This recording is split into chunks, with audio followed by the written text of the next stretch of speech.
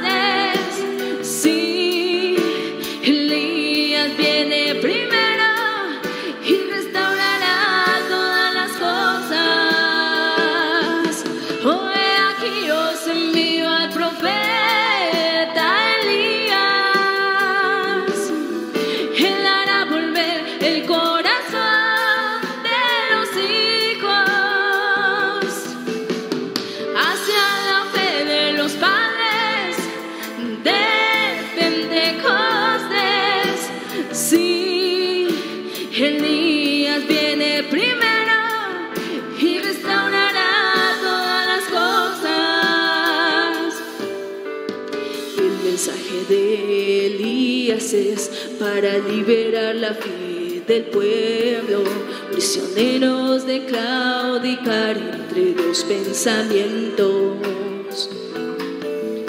sacando de escena el nicolaísmo y balamismo y después de la gran sequía por causa de Acab y Jezabel, traer de regreso lluvia temprana lluvia tardía. Y mi pueblo nunca jamás será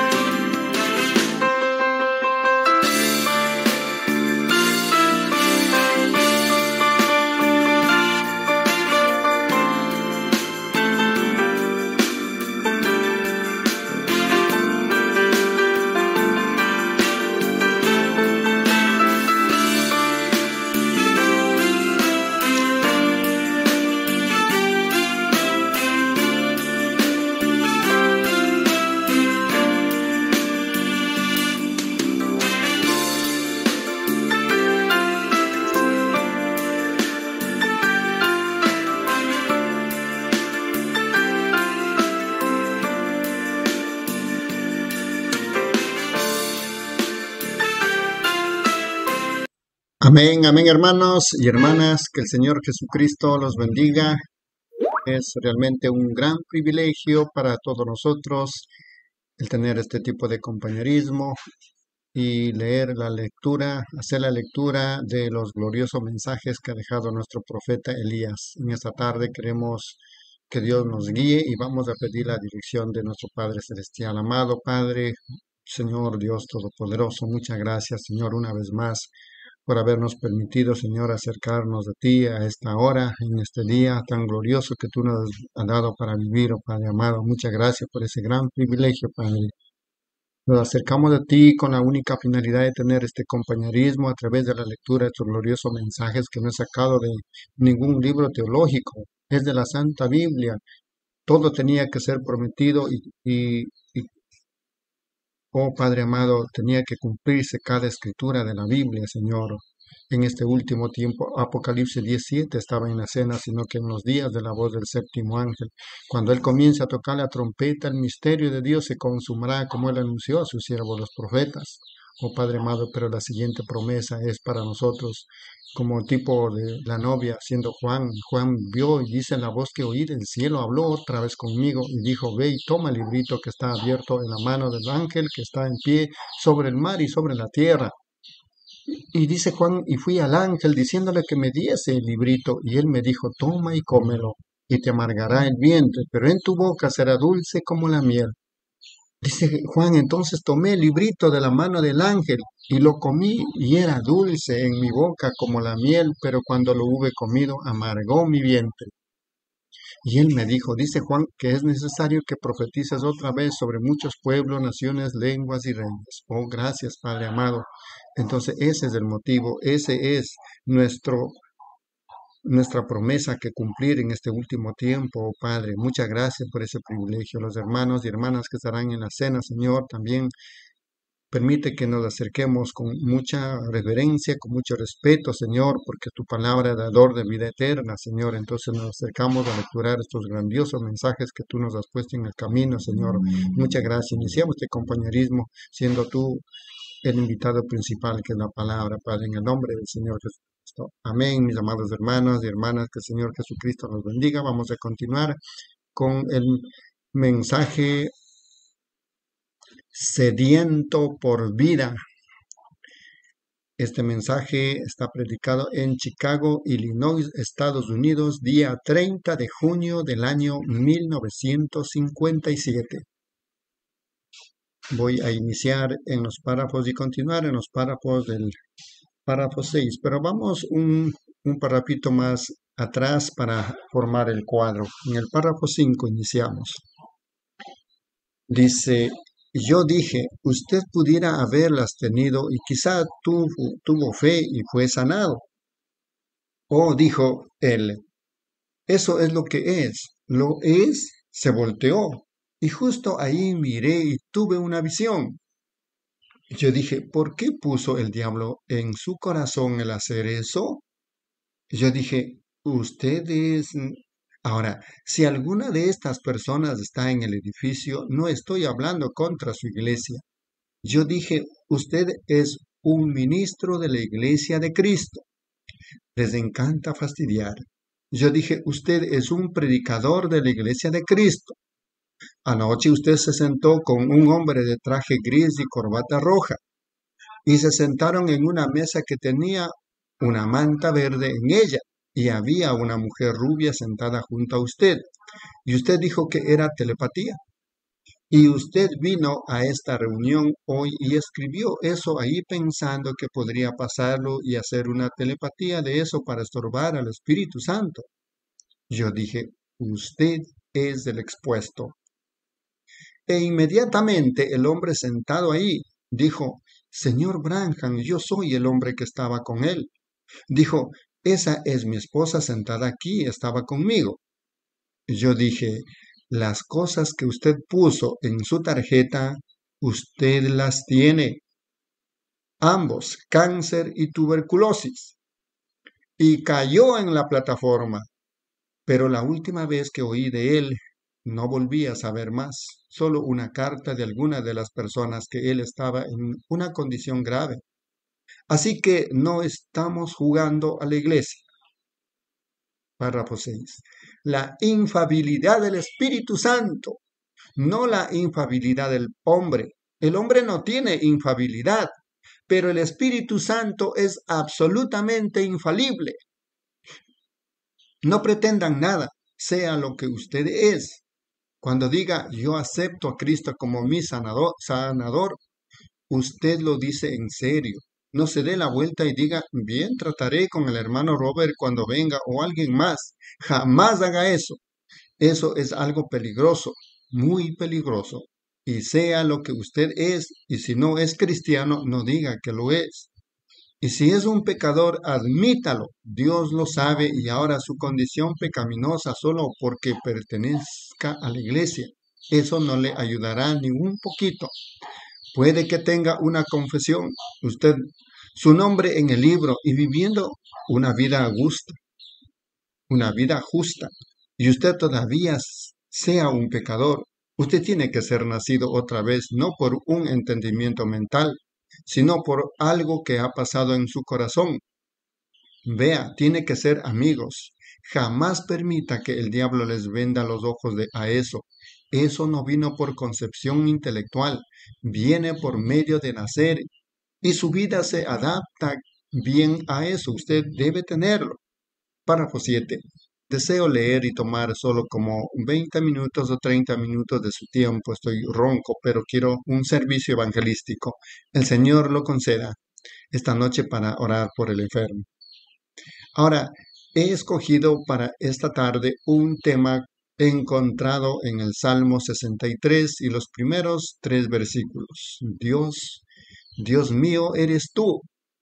De madrugada te buscaré. Mi alma tiene sed de ti, mi carne te anhela, en tierra seca y árida donde no hay aguas, para ver tu poder y tu gloria, así como te he mirado en el santuario. Porque mejor es tu misericordia que la vida, mis labios te alabarán Párrafo 8. Tenemos en esta tarde el texto más inusual, la lectura de la santa palabra de Dios. Cuando leo esto me desconcierta y pensaba en mí mismo. ¿De qué estaba hablando el profeta cuando dijo, Tu misericordia es mejor para mí que la vida? No hay nada mejor que la vida. Y luego, tu misericordia es mejor que la vida. Mis labios te alabarán. Bueno, pensé, debe haber diferentes clases de vida. Ahora, mucha gente empieza a pensar del tema de la vida y ahora sintiéndome libre y yo siempre he tratado de no retener las cosas. Nunca en mi vida a sabiendas he dicho el nombre de un personaje o el nombre de alguien. He reprendido el pecado, he predicado lo que pienso que estaba correcto, pero jamás he menospreciado a un hermano. Él pudiera estar muy mal y yo pudiera estarlo también, pero sin importar que él esté mal, no lo desvinculen de mí, de mi compañerismo con Cristo y Él.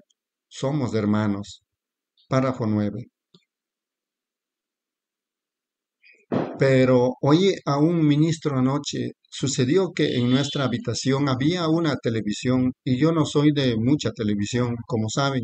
Si es la cosa correcta, muy bien, pero hay un pero hay muy poco de correcto en eso. Yo simplemente no tengo una en mi casa. Y así que fue un evangelista famoso que estuve predicando anoche que dijo, cuando un hombre nace, él recibe una vida y él será siempre esa vida. Ahora, un hombre de ese calibre. Pero solo me pregunté si él se ha sentado alguna vez para pensar esto. La Biblia dice, el alma que pecare, esa morirá. Para 10. Sí, Señor, todo lo que tiene un principio tiene un fin, y son las cosas que no tuvieron principio las que no tienen fin. Y solo hay una vida eterna y esa está en Dios. Toda otra vida tiene un fin, pero Dios no tiene fin porque Él no tuvo principio. Y nosotros siendo parte de Dios tenemos vida con Dios. Pero todo lo que tiene cualquier otro tipo de vida tuvo principio, tiene un fin. Solo las cosas eternas permanecen. Ahora, la palabra por siempre viene de la conjunción por siempre y para siempre. Por siempre es un espacio de tiempo, pero eternidad es sin principio o fin. es solo un círculo perfecto, no hay fin en eso en lo absoluto, es eternamente. Por siempre, como vean, por siempre y conjunción, por siempre, dos espacios de tiempo, pero eternidad y vida eterna significan la misma cosa. Vean, está en la misma categoría que no tiene principio ni tampoco tiene un fin, es por siempre lo mismo, siempre fue y siempre será lo mismo. Párrafo 11. Ahora, en la iglesia del hermano José, donde me siento tan libre como lo estuviera en mi tabernáculo, y para dar una pequeña base aquí antes que traiga mi mensaje a ustedes de parte del Señor, solo quiero dar una pequeña enseñanza bíblica por un momento. Hay un espíritu en el mundo que es amor verdadero, puro y sin adulterar. Y ese amor procede del gran espíritu. Es Dios. Hay en el mundo un espíritu que solo es justicia pura, sin adulterar. Ese espíritu procede de Dios y todos los espíritus de justicia o amor o pureza, eso es Dios. Ese es el eterno, sempiterno, sin principio o final, ese es Dios. Párrafo 12. El Logos salió de Dios como sin despreciar ahora a la gente católica, pero la Iglesia Católica mi pasado, mi familia es católica y yo tengo gente católica aquí, el libro llamado Los Hechos de nuestra Fe, y ellos usan la palabra de el oficio de Hijo Eterno de Dios. La palabra ni siquiera tiene sentido para mí. La palabra eterno significa eternidad, que no tiene comienzo tampoco, tiene fin. E hijo significa tener un principio, así que ¿cómo pudo? Pudiera ser un oficio de Dios eterno, pero jamás un oficio de Hijo eterno. Un hijo es uno que ha sido engendrado, así que tuvo un principio. Y el Logos, el cual fue el Hijo de Dios, salió, creado por estas grandes fuentes de pureza, Dios, a medida que esos espíritus salían. Y creó el Logos, y era un cuerpo, estaba en la forma en que estamos ahora, el cual es llamado, entre paréntesis, en la manera eclesiástica de decirlo, una teofanía. Es un cuerpo que no tiene espíritu, es un cuerpo que está esperando por usted, cristianos. Tan pronto como la vida deja esto, ustedes van a ese cuerpo. Cuando este tabernáculo terrestre se deshaga, tenemos uno esperando, una teofanía. Párrafo 13. Ahora, cuando Dios estaba en teofanía, entre paréntesis, el cual era Cristo en la creación, luego esa teofanía llegó a ser carne y habitó entre nosotros. Entonces eso era para redimir. Él vino de allá por medio de esto para redimir a esta criatura, darle vida y llevarlo arriba dentro del eterno. Vean. Ahora, solo hay una vida eterna y se halla solo en Dios. Y solo Dios tiene vida eterna. Y hemos sido privilegiados de llegar a ser hijos de Dios. Entonces esa palabra, el que oye mis palabras y cree al que me envió, tiene vida eterna. La palabra griega zoe, ahí usada para la propia vida de Dios, la criatura que lo acepta, llega a ser parte de Dios y es tan, y es tan eterno como es Dios. Correcto, no hay razón para que dudemos eso. Es la palabra eterna y sempiterna de Dios y todo lo que tiene un principio tiene un fin. Párrafo 14. Entonces, ¿dónde comenzó el pecado? El pecado comenzó en el jardín del Edén y el pecado tiene un fin. Entonces, si David clamó, oh Señor mi Dios, mi alma tiene sed de ti en tierra seca, donde no hay aguas, porque mejor es tu misericordia que la vida. Debe haber dos diferentes tipos de vida y hay dos tipos de vida. Y cuando un hombre nace en este mundo, él no es nada sino un producto del pecado cuando Él nace, porque Él procede del deseo sexual. Él solo es un producto de pecado. La Biblia dice que lo es. Él es nacido en pecado, formado en iniquidad, vino al mundo hablando mentiras. Y aún así Él tiene vida, pero esta vida es una vida pervertida. Esa vida fue, eh, párrafo 15. Por último, Satanás no puede crear vida, él solo puede pervertir lo que Dios ha creado. Satanás no tiene forma de crear, solo hay un creador, ese es Dios. Satanás no puede sanar, la medicina no puede sanar, no hay nada que pueda sanar sino solo Dios, porque Él es el único creador. Y cualquiera que es inteligente conoce lo suficiente para saber que no hay medicina o droga o nada en el mundo que pueda crear vida. Dios es el único solemne que se para en la creación solo, pues Él dijo, yo soy el Señor que sana todas tus dolencias. Amén, mis amados hermanos y hermanas, que el Señor Jesucristo los bendiga. Estamos lecturando hemos iniciado este compañerismo este glorioso mensaje sediento por vida, mensaje predicado en Chicago, Illinois, Estados Unidos, día 30 de junio del año 1957. Continúe, hermana Reina, en los párrafos 16 al 25. Amén. Dios le bendiga, hermanos y hermanas. Continuando con la lectura del mensaje,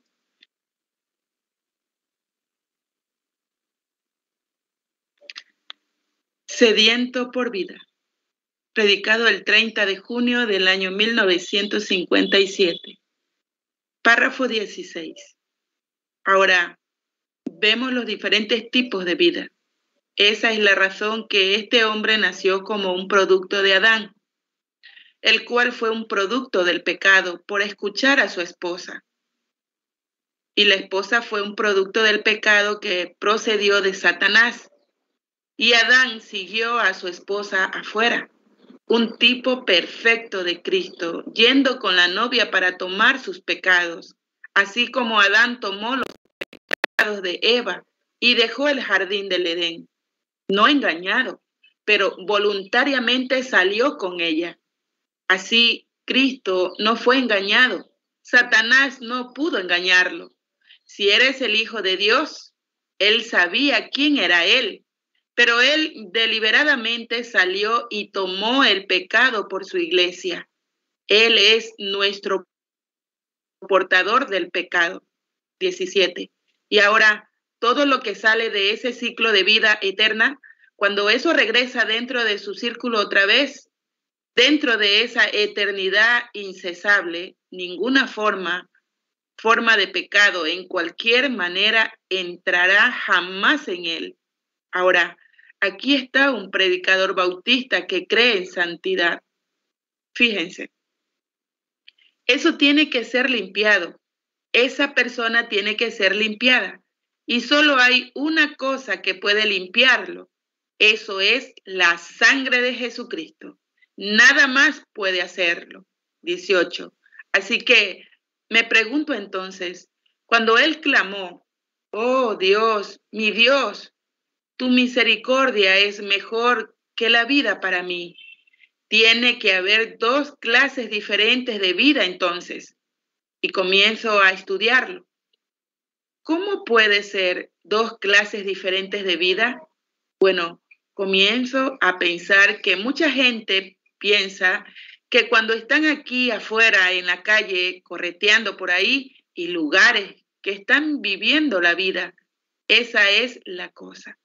Yo observaba madres jóvenes tomar a sus hijos y enseñarles a bailar, pues quiero que ella tenga un poco de vida. He visto a damas jóvenes desnudarse solo hasta la suficiente ropa que la ley les permite ponerse y salir y dicen, yo realmente estoy viviendo la vida. Y la mujer no sabe que ella está muerta en vida. 19. Hace algún tiempo en otra ciudad iba a mi habitación y había un club kiwanis o algún cierto club. Estaba teniendo una reunión en esta ciudad. Tenían un congreso, una convención. Y cuando entré, subí en el elevador. Había dos jovencitas bajando solo con su ropa interior puesta, con una botella de whisky en su mano, gritando, yupi, yendo y los hombres arrastrándolas de una habitación a la otra. Y me senté en las sombras para observar. Y cuando se me acercaron, oh, bien vulgares, y eran ambas mujeres, no hay duda que mujeres casadas, con sus esposos en casa, quizás pensando que ellas están teniendo una diversioncita sana, no hay semejante cosa. Y luego estaban gritando ahí arriba, relajándose, lo llaman. Una de ellas se detuvo y dijo, Yupi, esto es vida. Yo dije, oh no, esa no es vida, esa es muerte. La Biblia dijo, la que se entrega a los placeres viviendo está muerta. La Biblia dice eso. Párrafo 20. Y esta, muchas veces el diablo intenta decirles que esa es vida, pero eso es muerte. Y noten también que esa vida llega a ser tan miserable hasta que la gente se quita esa vida. Toman un revólver y se vuelan los sesos. Habrá muchos de esos en Chicago quizás este verano. Habrá muchos de ellos saltando desde las torres y ahogándose. Habrá gente en Chicago en las próximas semanas que abrirán sus cámaras de gas y se matarán ellos mismos. Habrán algunos conduciendo deliberadamente en frente de automóviles y matándose a sí mismos. Habrá algunos envenenándose y suicidio en todas partes. Esa clase de vida llega a ser traicionera hasta que sabemos que el profeta no estaba hablando de esa clase de vida. Eso es muerte. Esa es muerte en forma de vida. Eso es lo que Hollywood ha hecho por los Estados Unidos. Lo ha pervertido, ha desnudado a nuestras mujeres, ha hecho toda clase de cosas malas, ha hecho a nuestros hombres, ha producido cosas aquí que han pervertido la corriente de la vida en muerte. Aún nuestra nación está muriendo. 21. Estaba hablando hace unos momentos con mi esposa, cuando estábamos aquí sentados en un lugarcito y habían mujeres entrando, todas con un cigarro o algo. Una muchachita ahí sentada con sus pestañas extendidas y pintadas como el diablo. Así, hacia atrás, hacia atrás y con fleco por los lados. Y ella estaba ahí parada, pobre cosita, no mayor de 18, fumando un cigarro y dibujando su boca hacia abajo haciendo la cosa más fea, sacando el humo por su nariz, sin darse cuenta que, esta que está muerta en delitos y pecados. Destruir este templo, Dios los destruirá. 22. El problema de hoy es que tenemos demasiados púlpitos débiles que están temerosos de predicar un infierno ardiente eterno y advertir a la gente de esas cosas y permitiéndole a la iglesia ir tan perezosa y descuidada como puede ser. Y yo dije, cariño, ¿de dónde podemos comenzar? Nuestra nación está corrompida. Nuestros políticos están tan podridos como pueden estarlo. Nuestras fábricas y nuestra economía están tan podridas como pueden estarlo. Aún la industria de los carros te toma seis u ocho meses limpiar los bichos de su carro. Están en la línea, en la línea de ensamblaje. Los ponen juntos. ¿Qué diferencia hace? Nuestra feminidad está rota. La maternidad en América está destruida. La moral está tan podrida como cualquier otra nación en el mundo. ¿Qué pasa? Es porque han amado las cosas del mundo más que lo que han amado a Dios y se han pervertido. Exactamente correcto. No solo eso, pero nuestras iglesias están fracasadas. Poco del antiguo púlpito, predicadores afeminados que se paran en... No estoy criticando a nadie en particular, pero ellos se paran y es un boleto para comida. Es una ofrenda o es un hombre popular para poner en la televisión o al aire.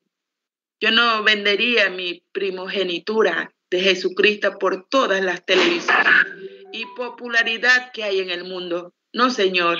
La vida significa más que estas desagradables cosas impías. Prefiero tener favor con Cristo que ser el presidente del mundo. ¿A qué condición ha llegado el mundo? 23. Aquí no hace mucho supe de una iglesia en nuestro país y muchas de ellas a través de la nación que solo se interesaban por solo despreocupados. Y no estoy regañando a la gente, pero hermano, tengo que responder en el día del juicio por los mensajes que doy al pueblo. Dios, la única cosa que Él pudo hacer, no, nada puede salvar a esta nación. Está acabada. No puede haber un avivamiento mundial en este tiempo. No hay sobre qué construir. Ella está tan podrida más no poder. Cuando llega a un punto que es tan vulgar y sucia como París, Francia, la cual ha sido la silla de Satanás por cientos de años. Mujeres, vulgaridad y suciedad. Y ellos solíamos ir allá hace 25 años y traer sus diseños para ponérselo a nuestras mujeres. Hemos llegado tan bajo al grado que ellos vienen aquí y llevan nuestros diseños para vestir a sus mujeres. Eso es correcto. Periódicos y revistas lo recogen y la pobre gente está conduciéndose con eso. 24. Solo hay una cosa que el Espíritu Santo está haciendo. Eso es salvar lo que pueda. Los elegidos de Dios para sacarlos. Así que para mí, mientras tenga aliento en mi cuerpo, clamaré y condenaré la cosa. No puedo evitarlo. Dios dijo que estaría ahí. No puedo detenerlo, pero les daré mal reporte contra eso, de manera que cuando Dios toque su grabadora otra vez en el día del juicio, sabrán que se les dijo la verdad de todas formas por la palabra del Dios viviente. Y Dios lo confirmaba con sus señales y maravillas. Entonces, depende en ellos. Eso es correcto. Párrafo 25. Escuchen amigos, Dios creó al hombre para estar sediento. Dios puso sed en el hombre. El hombre fue hecho para tener sed. Y me quieren decir que tratan de apagar esa bendita sed santa con el mundo y con el programa del diablo. Tratan de saciar esa sed bebiendo whisky la cual Dios puso en ustedes para tener sed de Él. Hay algo en el hombre que le da sed. Dios hizo esa sed en el hombre para tener sed de Él, pero ustedes tratan de saciarla con placer. Y esa gente americana la ha saciado con placeres, locura. Eso es correcto. Esa sed santa y bendita.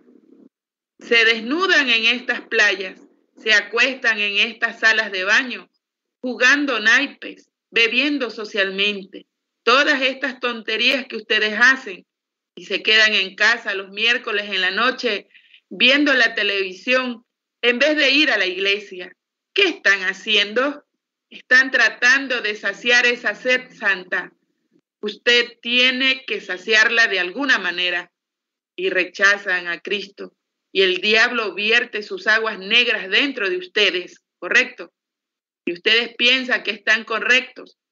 Pero la Biblia dijo, hay camino que al hombre parece derecho, pero su fin es camino de muerte.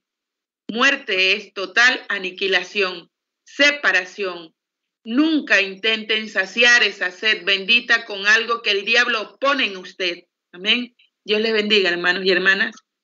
Amén, amén, hermana Reina. Dios le bendiga en la lectura. Recordando, estamos lecturando este glorioso mensaje sediento por vida, servicio realizado en Chicago, Illinois, Estados Unidos, día 30 de junio del año 1957. Voy a continuar en los párrafos 26 al 36. Dice, ahora, no solo usted dice, bueno, yo no soy un borracho, no soy un apostador, yo no soy un buscador de placeres. Pero hermano, si el diablo no puede atraparlo de una forma, él intentará otra. Y el diablo ha tratado de saciar con su estilo de vida la sed que Dios le da por su vida. Él le ha permitido unirse a la iglesia. Él le ha dejado gritar. Él le ha dejado hablar en lenguas. Él le ha dejado tener toda clase de demostraciones y todavía ustedes todavía están bebiendo del bote de aguas negras, de los botes de basura del diablo. Eso es exactamente correcto. Cuando un hombre está sediento por Dios, su ser entero está rendido a Dios. La gente hoy va por ahí y se une a las iglesias y viven como el diablo. Ellos piensan que sacian esa sed. Yo voy a la iglesia, es lo, eso lo resuelve. Les he dicho muchas veces cuando vienen en la Pascua, entre paréntesis, entonces es cuando normalmente todos quieren mostrar su sombrero nuevo. Ellos vienen en la Pascua. Ustedes también pueden desearles una feliz Navidad porque no les verá otra vez hasta la siguiente Pascua. Y sin embargo, son miembros de la iglesia, son miembros de esa denominación, pero un miembro de la iglesia es nacido de nuevo del Espíritu de Dios y el alma no puede vivir solo de pan, pero de cada palabra que sale de la boca de Dios. Esa bendita sed santa que Dios le da para tener sed por él. Luego usted la pervierte, le da algo más, esa hambre, las cosas que usted quiere hacer. Pruébelo y vea por lo que está sediento, vea lo que está buscando. Párrafo 27. Escuchen lo que David dijo. Mi alma tiene sed de ti en tierra seca, donde no hay aguas. ¿O pueden imaginarse estar en una tierra seca donde no hay agua? Eso es como sacar a un pez del agua. Lo mataría muy pronto.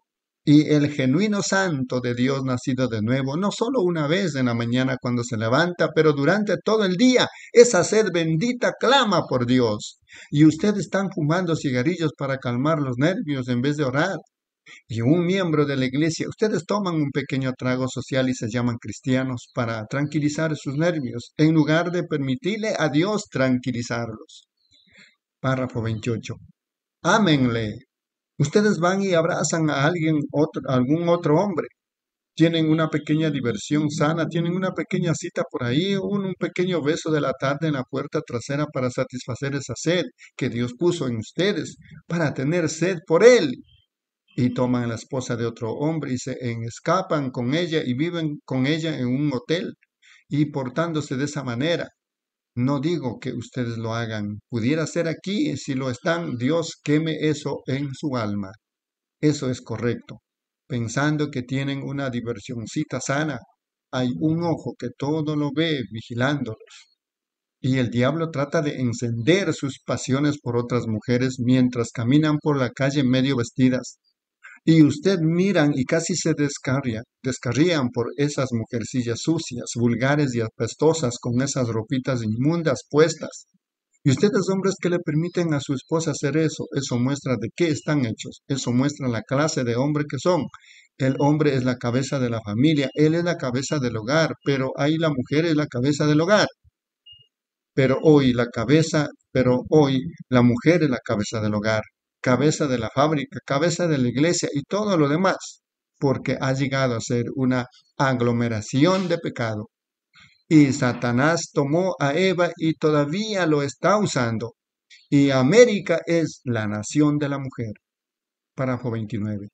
No hace mucho en Alemania o Suiza, una dama me dijo, una mujer cristiana, ella dijo, hermano Branham, me gustaría ir a América He oído que las damas son muy, bueno, ellas tienen una gran influencia y no en Suiza, no, señor, bueno, nosotras no tenemos. Yo dije, aquí está lo que conlleva. Eso causa prostitución. Aquí mismo en Chicago, según su periódico, tienen dos mil casos de aborto al día, dos mil casos de aborto. Dos mil bebés inocentes mueren cada día por causa de la inmundicia. ¿Cómo pueden tener un avivamiento en esa clase de circunstancias? Cuando prostitutas salieron a la calle anoche y los hombres con otras mujeres y las mujeres con otros hombres, y muchachitas venden su moral y de arriba para abajo en la calle hasta que finalmente terminan en un barrio bajo aquí. Anoche caminé por la ciudad de Chicago, vi lo que estaba sucediendo. ¿Cómo esperan a que el Espíritu Santo arrase un avivamiento sobre algo así? Debe tener un lugar para anclarse. Párrafo 30. Y ellos van a las iglesias aquí en una mañana y oyen un sermón con liviandad sobre algo. Vuelven a casa y piensan que son cristianos y la iglesia temprano. Si el pastor predica más de 20 minutos seguidos o el que será el próximo presidente o algo así, ellos lo echan y ponen a otro. Ese montón de hipocresía con destino al infierno, vulgares, buscadores de placeres. La Biblia dijo, ellos serán impetuosos, infatuados, amadores de los deleites más que de Dios, implacables, calumniadores, intemperantes y aborrecedores de, de lo bueno. que Dios nos dé cristianismo de antaño, experiencias de nuevo nacimiento, esa sed. Esa sed está en usted, pero es con un propósito. Párrafo 31. La mujer fue hecha para el hombre. El hombre no fue hecho para la mujer. La mujer fue hecha para el hombre. Sino que la mujer fue hecha para el hombre. No hombres. Hombre. H-O-M-B-R-E. No hombres. Entre paréntesis, muchos de ellos. Pero singular. Eso es correcto, pero cuando ellas venden su moral, cuando ellas mismas se denigran y los hombres la misma cosa, están pervirtiendo el mero propósito por el que Dios les hizo mujer y hombre. Luego llaman eso vida, es muerte. Entonces ustedes van a la iglesia y se unen a la iglesia y ponen su nombre en ella y llegan a ser un miembro de ella y viven como el mundo. Eso está pervirtiendo la misma cosa que Dios quiso que fueran. Esa sed que Dios puso en ustedes para ser como Él y amarlo y tener sed por Él los pastores y las iglesias y ustedes mismos, ustedes mismos se han privado de esa cosa bendita y maravillosa que Dios ordenó para que ustedes aprovecharan esa sed sedientos, sedientos. Párrafo 32. Oh, si la iglesia pentecostal satisfaciera la sed en Dios en vez de tratar de seguir a algún evangelista o alguna emoción o algún pequeño ismo o una pequeña sensación cuánto mejor sería. Siguieron al Espíritu Santo en amor divino en vez de sensaciones y pequeños dones y cosas como esas. Cuánto mejor estarían. Dios no quiere que usted corra tras dones. Él quiere que tengan sed por Él. Párrafo 33. Fíjense, David dijo de nuevo, siendo un salmista, y él fue un montañés. Él vivió en los bosques. Él sabía lo que significaba estar en los bosques. Él siempre escribió de aguas de reposo y verdes pastos y de lugares sombreados. Él sabía lo que eran, pues el pastor tiene que buscar esas cosas. Él tiene que saber dónde están esos hermosos lugares. Yo he estado en el desierto muchas veces, cabalgando, el único lugar donde llevaría a mi caballo. El pobrecito estaba tan sediento, no teníamos nada para beber, el caballo y yo. ¿Cómo teníamos sed? Oh, si tan solo podía encontrar un rastro en alguna parte para regresar. Párrafo 34. Y entonces cuando usted llega a esa condición, el diablo comienza a mostrarle espejismos. ¿Saben lo que es un espejismo? ¿Alguna vez fueron por el camino y vieron el sol brillar sobre el camino? Se ve como mucha agua. Oh, los engaña. No hace mucho aquí vi donde un grupo de gansos que venían de Canadá o, patos y ellos vieron uno de esos en el camino y cayeron en el camino y se reventaron. Ellos pensaron que era agua. Oh, el diablo tiene muchas trampas para la gente. Se ve igual. Y he visto gente sedienta donde ellos corren a estos lugares y caen en ellos pensando que era agua. Parece como una gran corriente de agua. Van y lanzan de cabeza pensando que es agua y no es más que arena caliente y abrasadora. Párrafo 35. Y el diablo le ha dicho a Damita, y usted hermana, que si usted hace estas cosas, y usted hermano, si usted hace todas estas cosas y tiene un poco de esa cosa social de mente estrecha, pues usted no quiere escuchar a ese viejo predicador cascado. Usted no quiere la Biblia, que fue traducida cuatro o cinco veces. No hay nada en ella. Solo se unen a la iglesia y son un buen ciudadano. Eso no es nada más que un espejismo que el diablo les muestra. Solo están amontonando más penas todo el tiempo sobre ustedes. Pero hay una fuente llena de sangre, sacada de las venas de Manuel, y pecadores se sumergen debajo de ese raudal y pierden todos sus deseos del mundo. Porque si amáis al mundo y las cosas que están en el mundo, el amor de Dios no está en vosotros.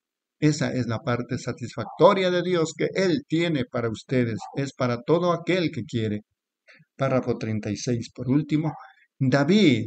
Él escribió en una ocasión en los Salmos, él dijo, entre paréntesis, creo que es Salmo 24, él dijo, como el siervo brama por las corrientes de las aguas, así clama por ti, oh Dios. Oh, cuando pienso de eso, David era un hombre del bosque y allá dentro de esa parte de la región encuentran muchas veces que hay muchos venados que corren.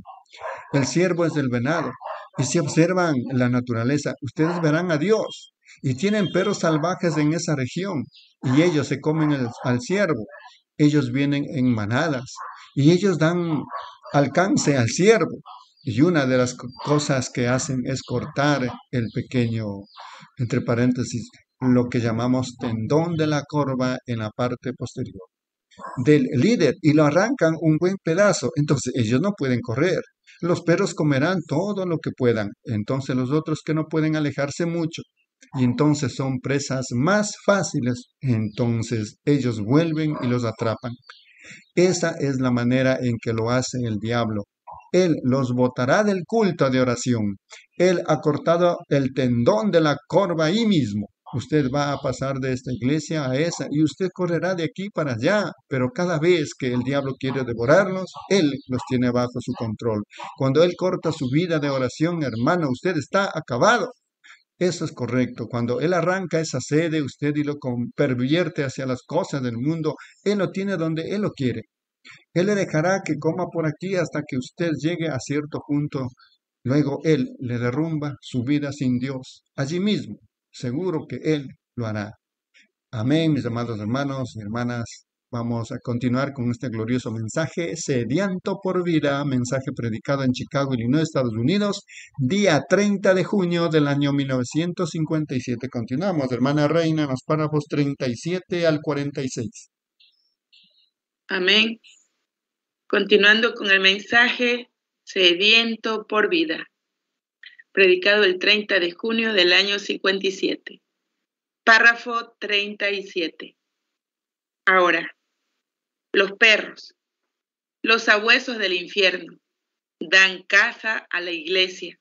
Ciertamente lo hacen, pero miren, ahora realmente ah, cuando alguno de los perros salvajes se come a Jezabel, ¿sabían que un perro no comería carne humana?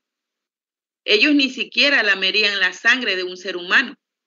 Usted no puede hacer que se acerquen. No, señor pero esta fue una cierta clase de perro.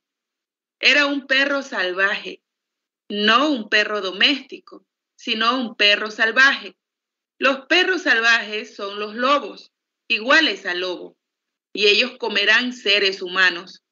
Pero si se fijan, estos perros salvajes habían venido y se comieron a Jezabel.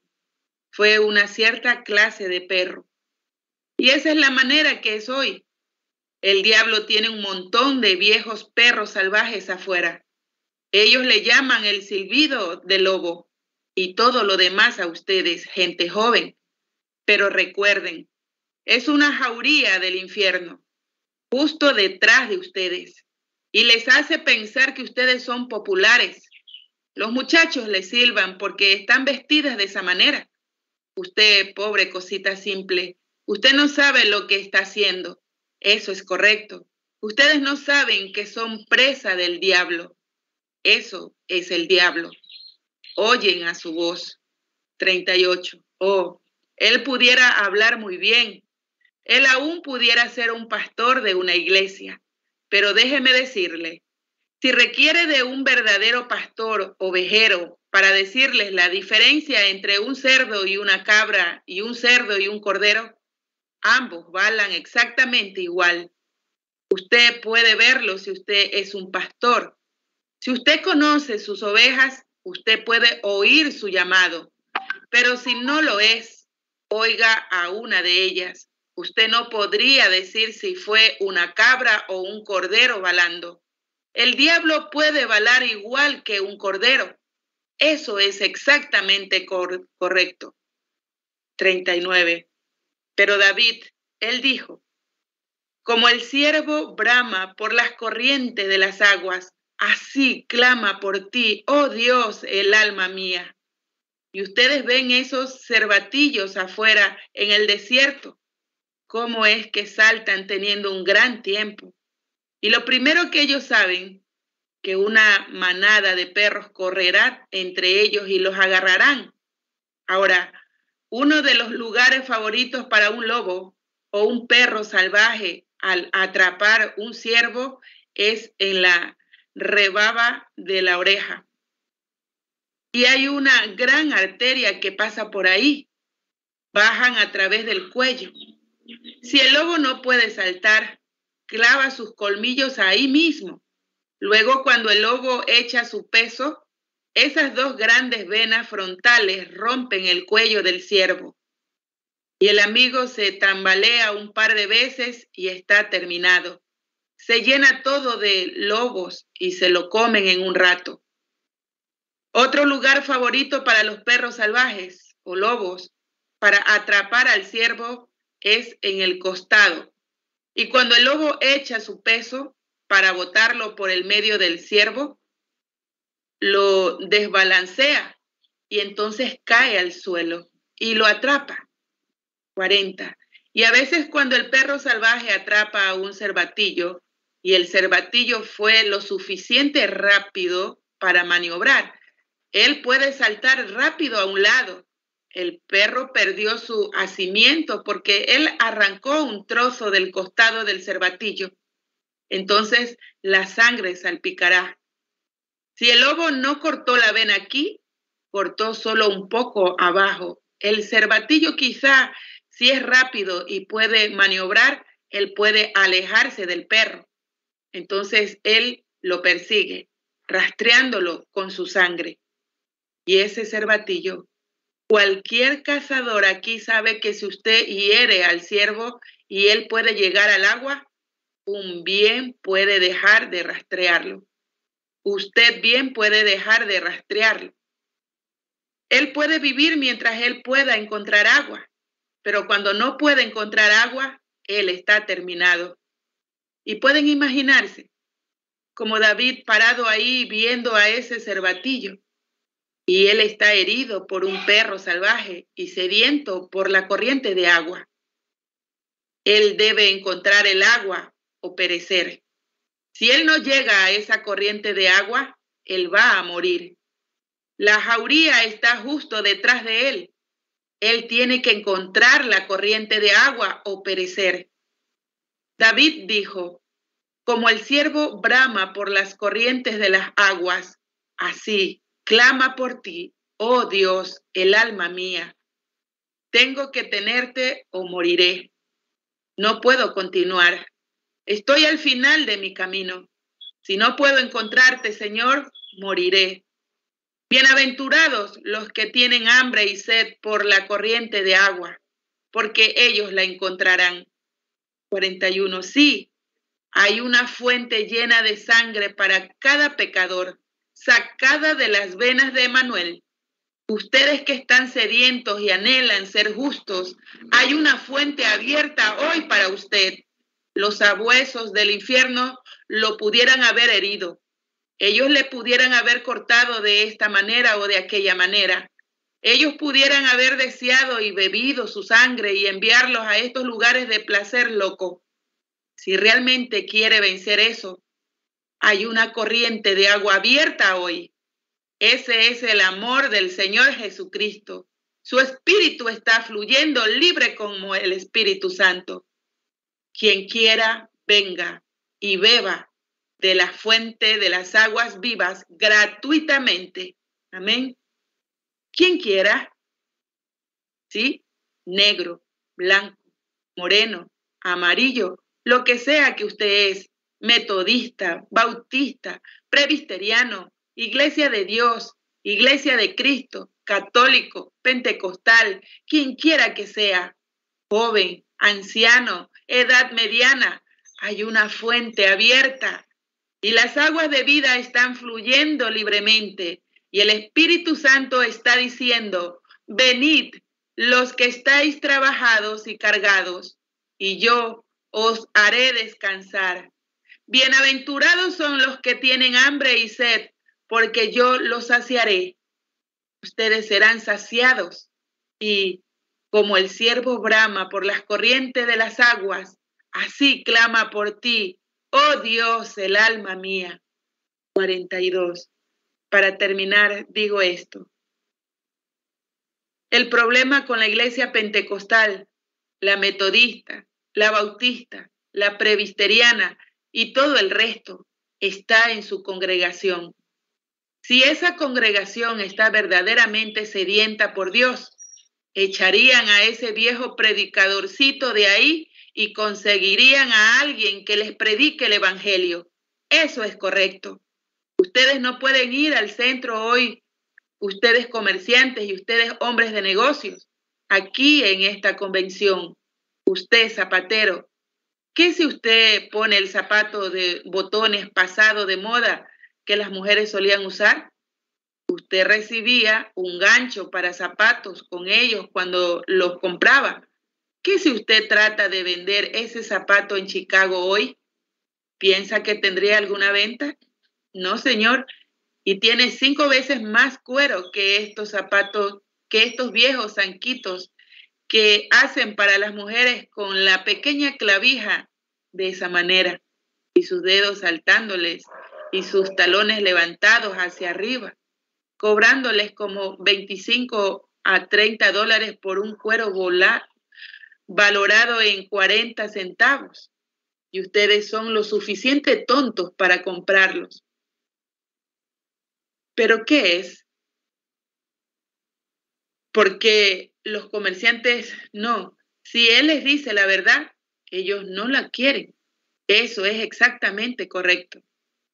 Las faldas que su madre solía usar, que la cubría del todo, y ella probablemente pagó tres dólares o un dólar y medio por ella.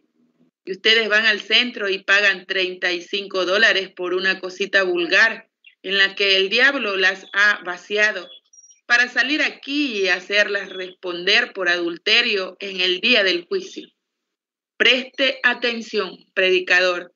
Usted dice, yo jamás cometí adulterio. Yo no sé al respecto. La Biblia dice, Cualquiera que mira a una mujer para codiciarla, ya cometió adulterio con ella en su corazón.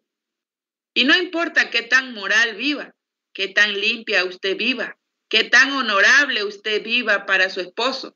Si usted se viste para hacer que el hombre la mire así, en la barra de, de juicio, el pecador que responderá por adulterio, usted será la que lo cometió. Eso es correcto. Ahora, tome eso, mi querido amigo, piénselo por un momento. Cualquiera, dijo Jesucristo, cualquiera que mira a una mujer para codiciarla, ya cometió adulterio con ella en su corazón. Y antes de que él pueda cometer adulterio, la mujer tuvo que presentarse ella misma de esa manera como si se han vertido sí, a sí misma, de apariencia sensual, afuera en las calles, sin importar qué tan limpia es moralmente. Ella es adúltera en el libro de Dios. Ahí está su Hollywood, ahí está su diablo. 44. Ustedes me pudieran odiar por esto, pero, hermano, en el día del juicio usted verá que le dije la verdad. Eso es exactamente correcto. Ahora, límpiense, enderécese, enséñele a otros a hacer lo mismo. Sus almas se pondrán sedientas. Oh Dios, no me importa la fantasía ni la popularidad. Yo quiero a Cristo o moriré. Cuando la iglesia pentecostal llegue a eso, Dios se moverá en la escena y Él nunca se moverá en la escena hasta que la gente comience a tener sed por Él en vez de las cosas del mundo. Oremos mientras pensamos sobre eso. ¿Son culpables? ¿Están orando? Todos. Una pequeña oración en su corazón. ¿Soy culpable de eso? Examine hoy su alma con el libro de Dios. ¿A qué clase de vida he estado atendiendo? Oh Señor Dios, Dios mío eres tú. De madrugada te buscaré. Mi alma tiene sed de ti. Mi alma tiene sed de ti, mi carne. Oh, vaya, ustedes no quieren ser desvestidas, no quieren hacer esto, no quieren ser llenos con alcohol y cosas. Mi carne te anhela. en tierra seca donde no hay agua para ver tu poder. ¿Qué? Yo quiero ver tu poder, Señor, tu gloria, tu poder para sanar al enfermo, para magnificar tu gloria, para derramarse sobre la gente como una gran fuente de las reuniones de la región, religión antigua, para verte, así como te he mirado en el santuario, porque mejor es tu misericordia que la vida. Mis labios te alabarán. Párrafo 45. ¿Están sedientos? ¿Realmente quiere ser un verdadero cristiano? Si usted realmente quiere ser un cristiano a la antigua, hay algo ahí dentro que lo hace desearlo. ¿Quieren irse al cielo? Recuerden que el animal no quiere irse al cielo. Ese animal no tiene alma. El animal no sabe qué vida hay después de esta, pero ustedes saben qué vida hay después de esta. Ustedes anhelan su vida después de esta.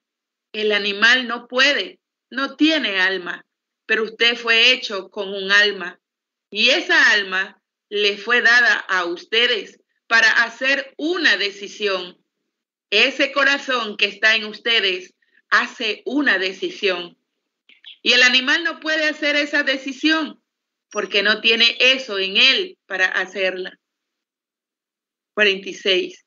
Pero hay algo en ustedes que anhelan de Dios y ustedes tratan de apagarlo, quizás por quedarse en casa, en la habitación, con aire acondicionado y viendo la televisión y quedándose en casa en lugar de la reunión de oración y nunca leen la Biblia y yendo a la iglesia el domingo en la mañana y entonces quizás yendo de nuevo, pagándole al pastor y esperar a que un evangelista venga por la ciudad y ustedes se sientan atrás y dicen, bueno, ese predicador es un buen tipo. Les digo, como que me simpatiza, como que me gusta la forma en que sonríe. Yo me gustan las bromas que hace. Hermano, eso no es vida, eso es muerte. Esa es muerte. Pero ¿realmente anhelan por un lugar al que puedan entrar? Sentarse bajo el antiguo árbol de sombra de la Biblia, levantar la mirada con ojos llorosos y decir, bendito Salvador, Tú me guiarás hasta que llegue a esa orilla saludable. ¿Hay algo en su corazón que anhela amarlo y alabarlo y adorarlo? Todas las cosas del mundo llegan a estar muertas y ustedes, solo Cristo o morir. ¿Debo tener a Cristo o debo perecer? Amén.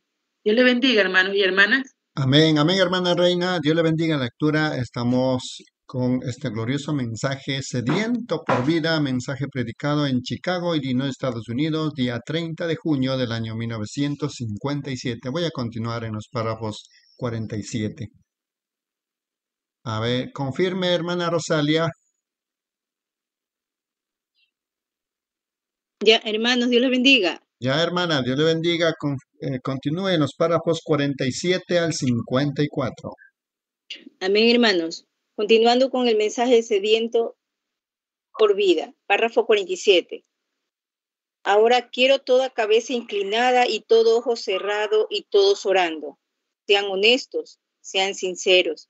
Si lo dicen en serio y se levantan y si levantan su mano a Dios y dicen, Señor Dios, desde este día en adelante, por favor, yo sé que estas cosas que hago no son correctas, pero quiero amarte, yo quiero lo que el predicador dijo hoy sobre ti en la Biblia. Mi sed es por ti como el siervo tiene sed por las corrientes de las aguas. Y la sed, Señor, que tuve algún día espero ser una gran persona. Oh, yo también, pero después que cruce la orilla, más allá, yo espero ser un hijo de Dios. ¿Realmente quiere hacer eso? Si es así, levantarían a él su mano diciendo, Dios, soy yo ahora, levanto mi mano diciendo, mi alma tiene sed de ti, Dios. Dios le bendiga, dama. Dios le bendiga, joven, dama. Y Dios le bendiga. Y a usted, ¿alguien más? Dios le bendiga. Yo no. Dios le bendiga a usted y a usted, dama. Dios le bendiga. Señora, a usted, dama. Párrafo 48. Usted pudiera ser miembro de la iglesia. Eso no tiene nada que ver con eso. Usted puede ser un miembro de iglesia y ser tan negro como una ramera aquí en la calle. Yo sé que dicen, esa predicación es fuerte, hermano Branham. Si usted viene aquí de noche o viene en cualquier otro tiempo y observa la vida por aquí y ve las cosas que el Señor Jesús hace, exactamente en la palabra seguramente yo debiera tener algún concepto de lo que Cristo significa. Yo sé esto, hermano. El diablo ha pervertido la vida. Él ha pervertido las acciones de la iglesia. Él lo ha pervertido tanto hasta que Él ha pervertido a la gente. Y es, la cosa más difícil del mundo el hacer que la gente vea la mera verdad. Eso es correcto. Oh, se les escapa por miles de millas. Párrafo 49. ¿Realmente lo anhelan a Él? Si lo hacen, ¿levantarían su mano otra vez? Dios le bendiga ahora.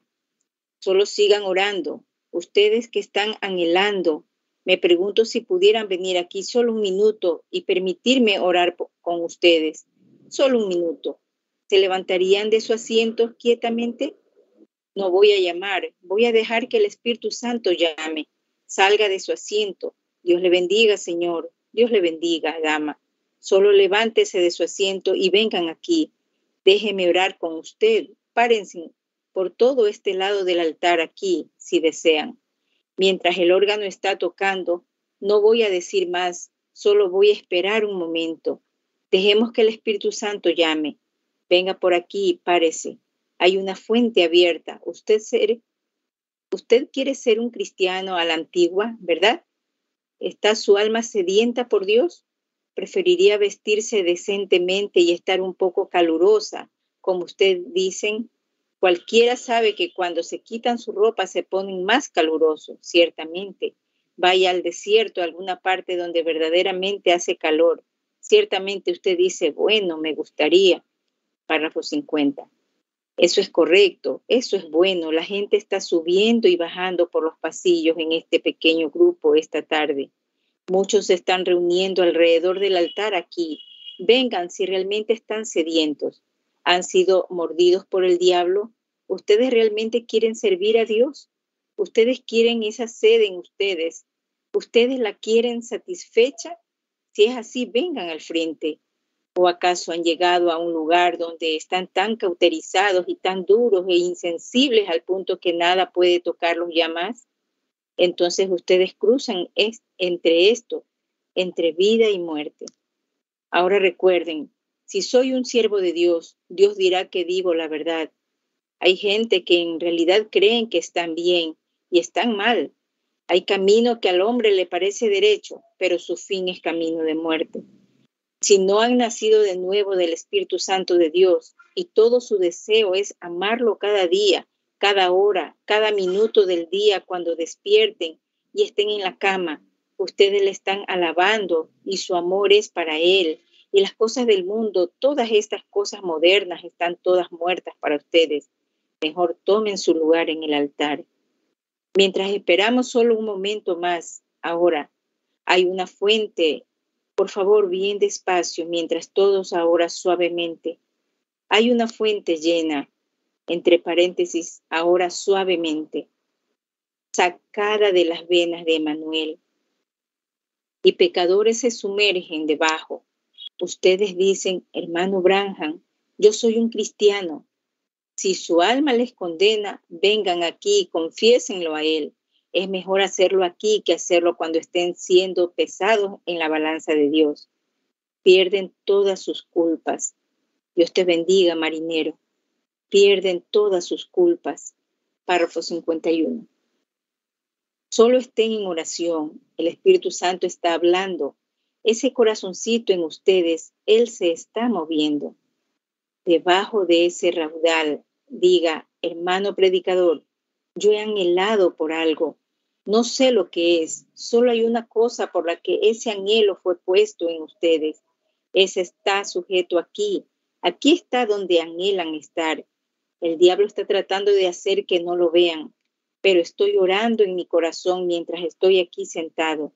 Dios abre los ojos de su entendimiento. Yo les amo. como el hermano Joseph Voss me dijo muchas veces, hermano Branham, Chicago le ama y yo amo Chicago. Pero escuchen, un papá verdadero será honesto con sus hijos. Si tiene que azotarlos algunas veces, si es un papá verdadero, sí, Señor, un verdadero papá corregirá a sus hijos. Y amigos, quiero decirles, jamás traten de llegar al cielo fuera de ese profundo anhelo y amor de Dios en sus corazones. Si no se han familiarizado con esa gran fuente de la que hablé al principio, donde Dios brota. Ahora, Él pervierte eso, vean, a medida que brota, Satanás lo pervierte. Dice, oh, bueno, este y este y este. Tengan cuidado, tiene que ser genuino. Párrafo 52. ¿Alguna vez oyeron ese pequeño himno así? Entre paréntesis, hermana, solo continúe en su melodía. Está bien. Hermano, hoy alejado del Salvador, arriesgando tu alma en las cosas que perecen, oh, ¿qué si hoy Dios te llamara? Entonces, ¿qué le darías a cambio por tu alma? Pongan atención, todos ustedes que no están alrededor del altar, busquen ahora. Entonces, cuando te pares en la barra, en el más allá, y cuando seas pesado en la balanza de Dios, en las alturas, si eres sentenciado a morir por siempre, entonces ¿qué darás a cambio por tu alma? Piénselo.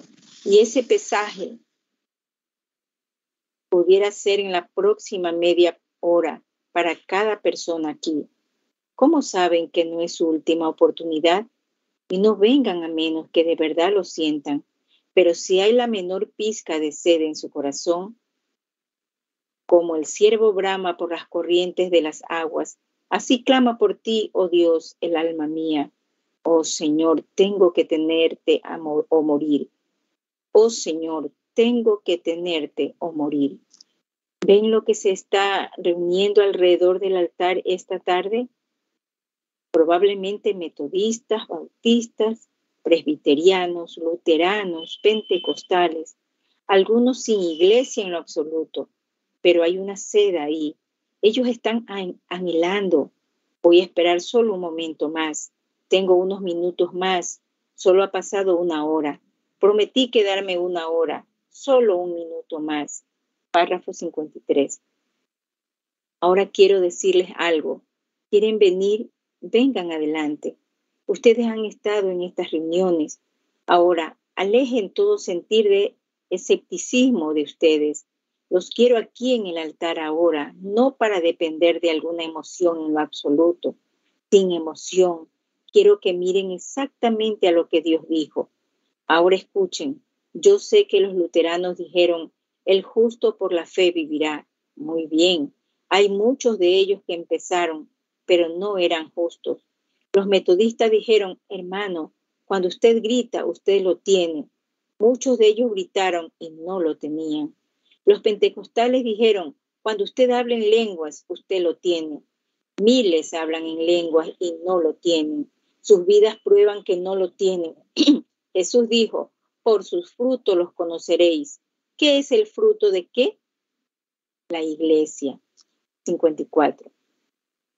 Es un verdadero sentir dulce en su corazón, sabiendo que ha pasado de muerte a vida, que usted está en paz con Dios, el corazón verdaderamente tierno se alimenta de las cosas de Dios en vez de tener todo Él. Ahora recuerden, yo creo en gritar, yo creo en hablar en lenguas, yo creo en todo lo que Dios dijo, yo creo en cada milagro, cada señal, pero preferiría tener esto que todo el resto de eso puesto junto. ¿No preferiría tenerlo?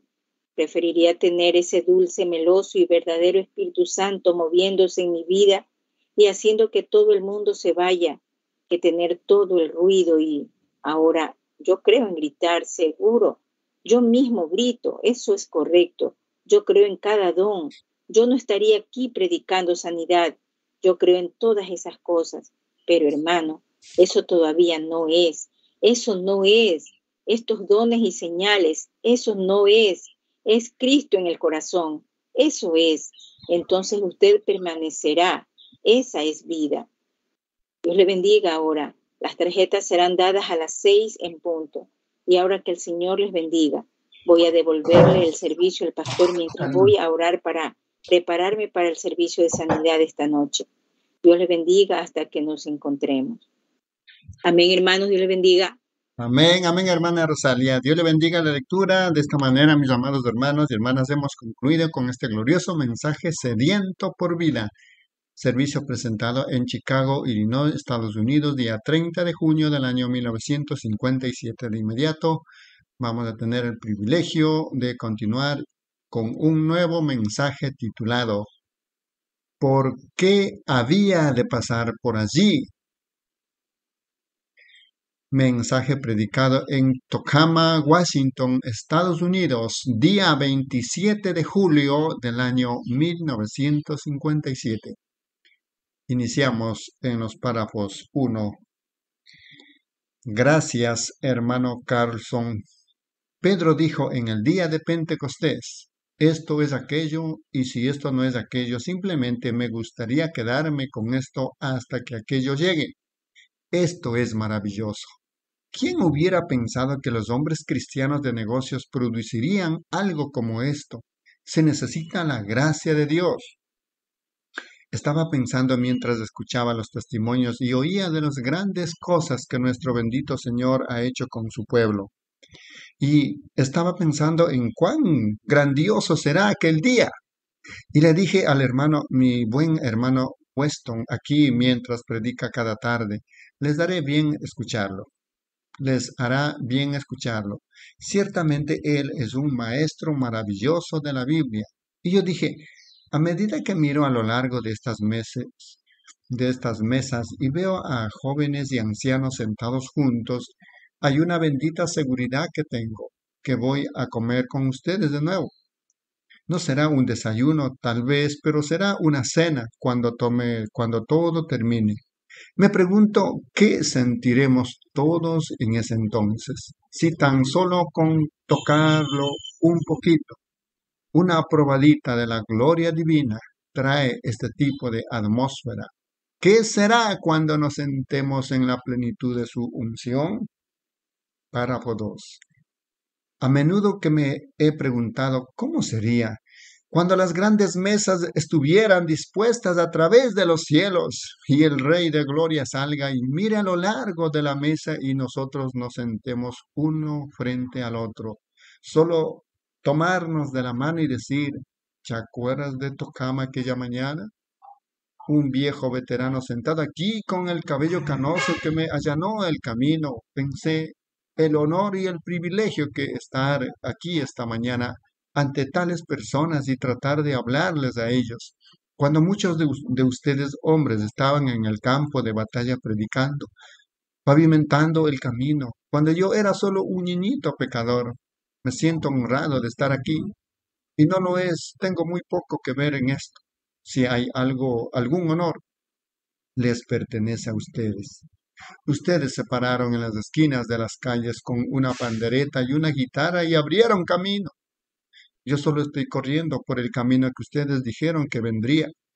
Y la gracia de Dios nos ha provisto a todos. A Él le damos alabanza y gloria. Párrafo 3. Este compañerismo de los hombres cristianos de negocios ha significado mucho para mí. Yo fui ordenado en la iglesia misionera bautista por el doctor Roy E. David de Big Spring, Texas. Y luego estuve siendo un bautista. Ustedes saben que la iglesia bautista no lo expulsan a uno de la iglesia bautista por su doctrina, porque ellos no tienen una doctrina. Es un compañerismo. Es un compañerismo. La bautista y cada iglesia es soberana en sí misma, por lo que lo expulsan a uno de la iglesia bautista es por una vida inmoral. Así que yo dejé la iglesia bautista para poder estar libre de todas las denominaciones, para poder predicar el, el cuerpo de Cristo, al cuerpo de Cristo, perdón. Yo pertenezco a una organización esta mañana. Tengo muchas credenciales honorables en casa que me han enviado personas de diferentes denominaciones, de la presbiteriana en adelante y alrededor pero pertenezco oficialmente a una. Esa es los hombres cristianos de negocios. y tengo su tarjeta en mi bolsillo y estoy orgulloso de decir que estoy afiliado con este gran grupo porque es interdenominacional. Y encontré un grupo tan maravilloso de hombres, aunque siendo solo laicos, están tratando de hacer todo lo que está en su poder para glorificar a Jesucristo. Y ciertamente estoy feliz de estar detrás de ellos con todo lo que tengo. Párrafo 4. Cuando recién entré al evangelismo, a este tipo de campo, nunca había escuchado de los pentecostales. O los había escuchado decir un montón de santos rodadores, y así sucesivamente. Pero los encontré, eran uno de los grupos de gente más dulce, tan libres como podían serlo, amorosos, de buen corazón, buena naturaleza. Pero encontré entre ellos, entre paréntesis, igual como los encontré entre los bautistas y el resto de ellos, diferencias entre ellos. Pude haber tomado partido como las asambleas o la iglesia de Dios o por el estilo, pero me mantuve libre para poder quedarme en la brecha y decir, todos somos hermanos, vamos a unirnos. Jacob cavó tres pozos. El primer pozo los filisteos lo alejaron de él. Creo que él, que él lo llamó malicia. Y el segundo pozo que cavó lo ahuyentaron. Por eso lo llamó contienda. Y cayó el tercer pozo y dijo, hay lugar para todos nosotros. Párrafo 5. Por tanto, pienso que aquellos que están montando un camello de una, de una joroba, un camello de dos jorobas o un camello de tres jorobas, todos nosotros podemos beber de, esa, de esta agua, de esta fuente. Podemos beber todos juntos y estoy tan feliz por esto y creyendo que un día Dios nos unirá a todos juntos a la gente de todas las denominaciones, los hijos de Dios en una gran iglesia rescatada. Ustedes saben, el templo de Salomón cuando fue cortado, fue cortado de diferentes partes del mundo. Los árboles, los cedros del Líbano flotaron hasta Job y de allí en carretas de bueyes a Jerusalén y así sucesivamente y los albaniles en los años que cortaron las diferentes piedras eran de diferentes formas, pero cuando las juntaron no hubo ninguna piedra rara entre ellas, cada piedra fue colocada en su lugar. Y pienso que de esa manera lo está haciendo Dios. Él solo está cortando desde la metodista y la bautista y la presbiteriana y de los pentecostales, pero cuando Jesús venga todos nosotros diremos piedra sobre piedra, cimentados con el amor de Dios, y Dios se llevará a su iglesia.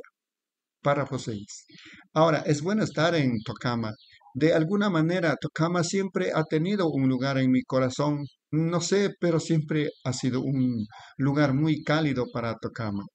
Y esta región de noroeste aquí, hermoso, sus árboles y sus mucha gente allá en el desierto de Phoenix. No hace mucho, yo estuve en el desierto y todo lo que uno toca allá tiene una espina. Y usted toca cualquier cosa, es solo, es flojo, no se mueve y tiene una espina en él. Bueno, esa misma clase de planta pudiera ser traída para acá y se convertiría en hoja porque recibe agua. Y eso es lo que pienso de nuestras iglesias. Eh, muchas de ellas pensamos que son frías, formales e indiferentes, pero solo es que se los acabó el agua espiritual. Todo lo que necesitan es un poco de agua para ablandarlos y se convertirán en una hermosa hoja para dar sombra. Y nosotros solo, mm, Dios tiene mucho de eso. Y ustedes no tienen que beber con moderación, él es la fuente inagotable de vida. Párrafo 7. ¿Se imaginan? He tenido personas que han dicho, hermano Branham, le pediría a Dios que me sane, pero sé que él está ocupado. Vaya, se pudieran imaginar un, un pececito así de largo en medio del océano Atlántico diciendo, vale más que tome agua con moderación. Puede ser que un día se me acabe. Eso es igual de inteligente pensar que ustedes pudieran agotar la bondad de Dios para con ustedes. Puede imaginarse a un ratoncito así de largo viviendo debajo de los tremendos graneros de Egipto diciendo, vale más que solo coma dos granos al día, puede que no me dure todo el invierno. Oh, vaya, uno puede, Él quiere que usted pida en abundancia para que sus gozos sean cumplidos. No tengan miedo de pedirle a Dios algo, porque Él está dispuesto, está más dispuesto en dar lo que ustedes en recibirlo. Si tan solo borramos esa pequeña sombra para saber que Él está dispuesto a hacerlo. Ustedes son sus hijos. Él los ama y Él... Ustedes saben cómo les gusta ministrar y hacer cosas buenas para sus hijos. ¿Qué tanto e-, esa, esa misma línea de paternidad, de ser padres para sus hijos, viene de Dios? Eso es correcto, porque Él es el Padre de todos nosotros y Él nos ama y quiere hacer cosas por nosotros. Si Él puede ponernos en línea con las bendiciones y así sucesivamente confiar en nosotros, entonces solo ahí los cielos están abiertos para todos nosotros. Párrafo 8, por último. Ahora, yo sé que esta mañana yo Ustedes han tenido tantas cosas buenas y sé que no queremos retenerlos mucho tiempo. Y estoy solo un poco ronco de tanto hablar y no quiero tomar mucho de su tiempo. Pero solo me gustaría entrar a este pequeño tema esta mañana como un pequeño drama. Y luego no se necesitará mucha voz porque voy a otra reunión de 11 días después de, o una semana, entre paréntesis, de, domingo a domingo. Después de esta, y me gustaría leer una porción de la palabra de Dios esta mañana de la Biblia, y solo con el capítulo 19 de San Lucas leemos esto. Habiendo entrado Jesús en Jericó, iba pasando por la ciudad. Y sucedió que un varón llamado Saqueo, que era jefe de los publicanos y rico, procuraba ver quién era Jesús, pero no podía a causa de la multitud pues era pequeño de estatura. Y corriendo adelante subió a un árbol sicómoro para verlo, porque había de pasar por allí. Si es la voluntad del Señor, me gustaría usar mi texto ahora mismo por unos momentos mientras oran conmigo, que había de pasar por allí. Amén, mis amados hermanos y hermanas, Dios le bendiga a todos. Continuamos con este glorioso mensaje que hemos iniciado. ¿Por qué había de pasar por allí? Mensaje predicado en Tacoma, Washington, Estados Unidos, día 27 de julio del año 1957. Iniciamos con, y continuamos con hermana Reina, por favor, en los párrafos 9 al 16. Amén. Mensaje, ¿por qué había de pasar por allí? Predicado el 27 de julio del año 1957. Párrafo 9. Debió haber sido una noche terrible. El hombrecito estaba tan agotado, había sido sandariado. Y ustedes saben esas noches sin dormir. Y su esposa, Rebeca, dijo, Saqueo, ¿qué te pasa? O él dijo, nada. Quizás tal vez el negocio en la ciudad estuvo tan mal hoy y eso es lo que me está deteniendo de la manera que es esta noche. No puedo dormir. Pero ustedes saben, Rebeca sabía mejor que eso. Ella, ella había sido una creyente del Señor Jesús y había estado orando por su esposo, un hombre de negocios de la ciudad, para que se convirtiera en un seguidor del Señor Jesús. Y ustedes saben, la convicción puede ponerlos muy inquietos provoca eso. Y entonces una buena esposa o madre orando puede hacer más para el reino de Dios de rodillas en casa.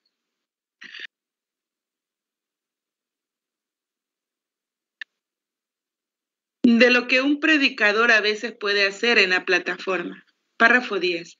Por tanto, ella sabía que Jesús de Nazaret iba a venir a la ciudad al día siguiente porque ella era una seguidora de él.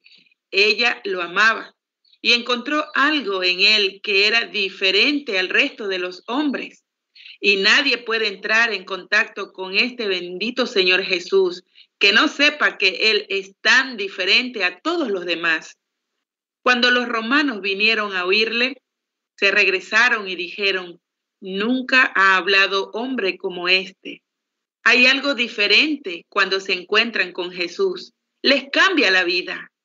Y ella pensó que si podía hacer que Saqueo descendiera y conociera a Jesús, que eso sería suficiente. Pero en aquellos días eran muy críticos de Jesús, al igual que lo son hoy en día. Ellos lo criticaban. Y entonces La creencia popular de Jesús era que era un fanático. Él andaba por allí en desacuerdo con los sacerdotes y tratando de destrozar su religión. Y ellos tenían todo tan establecido, al punto que no querían que eso se destrozara. Lo querían exactamente de esa manera. Pero usted sabe, a veces Dios tiene ideas diferentes. Amén. 11. Entonces, ella sabía que si podía ser que Saqueo, sabiendo que él era un hombre de corazón honesto, ahora, él era un hombre de negocios de Jericó, un hombre muy rico, y digamos que era propietario de un restaurante, pero él era muy rico, pero no había hecho nada malo para ser rico, él era honesto. Y no importa en qué negocio esté usted, si usted es honesto, Dios puede usarlo. Un corazón honesto siempre responderá a la verdad. Así que Rebeca sabía esto y había estado orando mucho por el pequeño saqueo, sabiendo que Jesús había prometido visitar la ciudad. Por supuesto, siempre surge una multitud mixta. Habría algunos allí para criticarlo y algunos se burlarían y otros creerían. Pero si pudiera conseguir que Saqueo lo viera. Pero ya saben, el sacerdote había dicho, el rabino había dicho, si alguien va a escuchar a este hombre, recibirán sus papeles, serán excomulgados. O no toleramos cosas como esas. Y él solo viene aquí a la ciudad para causar problemas para romper nuestras iglesias y hacer que la gente se agite. Por lo tanto, nadie debe ir a verlo. 12. Entonces Saqueo, siendo un miembro fundador de la iglesia, de la gran iglesia, y un amigo íntimo, jugaba gol con el rabino. Y bueno, simplemente no podía permitirse el lujo de ir allá, ya saben. Entonces Solo había una cosa que podía cambiar esa situación. Eso era la oración. La oración cambia las cosas. Simplemente hace algo cuando oran. Así que pueden ver que por qué tuvo una noche inquieta. Rebeca estaba orando. Dios estaba escuchando. El pequeño saqueo no podía descansar. Oh, él estaba tan destrozado. Así que finalmente Rebeca como que se dio la vuelta a su lado y dijo, gracias Señor, sé que tú estás lidiando con él porque se está poniendo inquieto. Hombres de negocios, ¿ven? Cuando se pone inquieto, solo recuerde, Dios está lidiando. Entonces ella se da vuelta para encontrar la prenda misma que traía puesta y él se estaba peinando su cabello frente al espejo. Usted sabe, ella dice, saqueo, pues es temprano. ¿Qué haces levantado tan temprano esta mañana? Él dijo, querida, no podía dormir. Pensé solo en salir y tomar aire antes de irme a trabajar esta mañana. Ella sabía que Dios estaba lidiando con él, levantándose tan temprano. 13. Así que él termina de arreglarse y ella lo mira a medida que baja los escalones y sale a la calle y está parado con sus manos detrás de él. Y mientras se queda allí, vamos a ver qué está pensando. Él dice, usted sabe, este es el día que ese profeta Galileo va a venir a la ciudad. Me gustaría echarle una buena mirada a ese tipo. Usted sabe, he escuchado el pro y el contra, pero si tan solo llego a verlo, voy a acercarme directamente a su rostro y le diré lo que pienso de él. Oh, sí, Señor, voy a hacer que él se sienta pequeño cuando lo mire. Y sé, y sé ahora que él está supuesto a entrar por la puerta sur. Así que voy a ir para allá a la entrada sur y voy a esperar. Y cuando él vaya pasando, le voy a decir lo que pienso. Usted sabe, a veces nos ponemos de esa manera, usted sabe. Entonces él dijo, me voy a parar allí mismo y esperar hasta que este profeta santo rodador pase. y le haré saber que toda su sanidad divina y toda esta, y toda esta cosa es tontería, porque el rabino pasó por los bachilleratos, él sabe de qué está hablando, así que se lo diré a él. Ahora, tal vez él pueda influir en un montón de analfabetas con su telepatía mental, pero ciertamente él no puede hablarle a un hombre educado como yo. Yo seré capaz de decirle al respecto. Bueno, Dios. Párrafo 14. La mañana cuando yo estaba pensando, cuando fui a los restaurantes a comer y una adolescente tontita y le puso cinco centavos a esta vieja cosa de boogie boogie o lo que sea, esa cosa. Y casi tuve que poner mis oídos en baja velocidad para no escucharlo, para poder comer. Y esta mañana, mientras estábamos comiendo, ese hermoso canto de firmes y adelante, huestes de la fe, oh, cómo eso emocionó mi corazón. Mi comida tuvo un sabor diferente, porque estábamos en una atmósfera celestial y donde Jesús está, siempre celestial.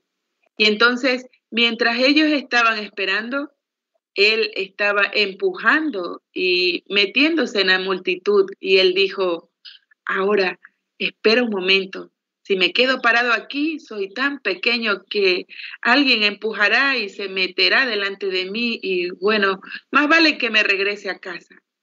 Pero mire, si usted se ha propuesto en su corazón ver a Jesús, no será derrotado. Eso es correcto. 15. Bueno, se coloca las manos detrás de él comienza a caminar de regreso. Algo le dice, ahora, ¿te vas a ir sin decirle lo que dijiste que le ibas a decir a él? Y él se dice a sí mismo, no, no seré derrotado. Así que se propuso en su corazón, se va a esperar hasta que lo vea y luego, después que lo vea él, quedará satisfecho si acaso está en lo cierto o no. Llegó él, luego él dice, ¿Sabes que escuché a Rebeca diciendo que él iba a ir al restaurante Levinsky? Bueno, ¿por qué iría él para allá? Ahora, tú sabes que tengo el mejor restaurante en esta ciudad, entonces, ¿por qué comería él allá en lugar de comer en mi restaurante? El mío debería ser el mejor. Después de todo, mi, soy un miembro fundador aquí en el Gran Sanedrín y soy un hombre sobresaliente en esta ciudad y soy un hombre inteligente y tengo la mejor de las comidas, pero ¿por qué iría él a comer allá con ellos? Era porque él fue invitado a comer allá con ellos. Jesús va donde lo inviten. Eso es correcto. Él nunca entrará a la fuerza. Usted tiene que invitarlo. Eso es verdad. Párrafo 16. Entonces él dice, yo sé que él va allá arriba tiene que bajar por aquí en un cierto camino para la avenida Aleluya. Así que mientras él pasa por la avenida Aleluya, cuando él doble la esquina para dirigirse al restaurante, yo voy a esperar allí mismo cuando dé la vuelta y estaré yo solo. Lo voy a mirar muy bien y sabré por qué yo tengo la inteligencia.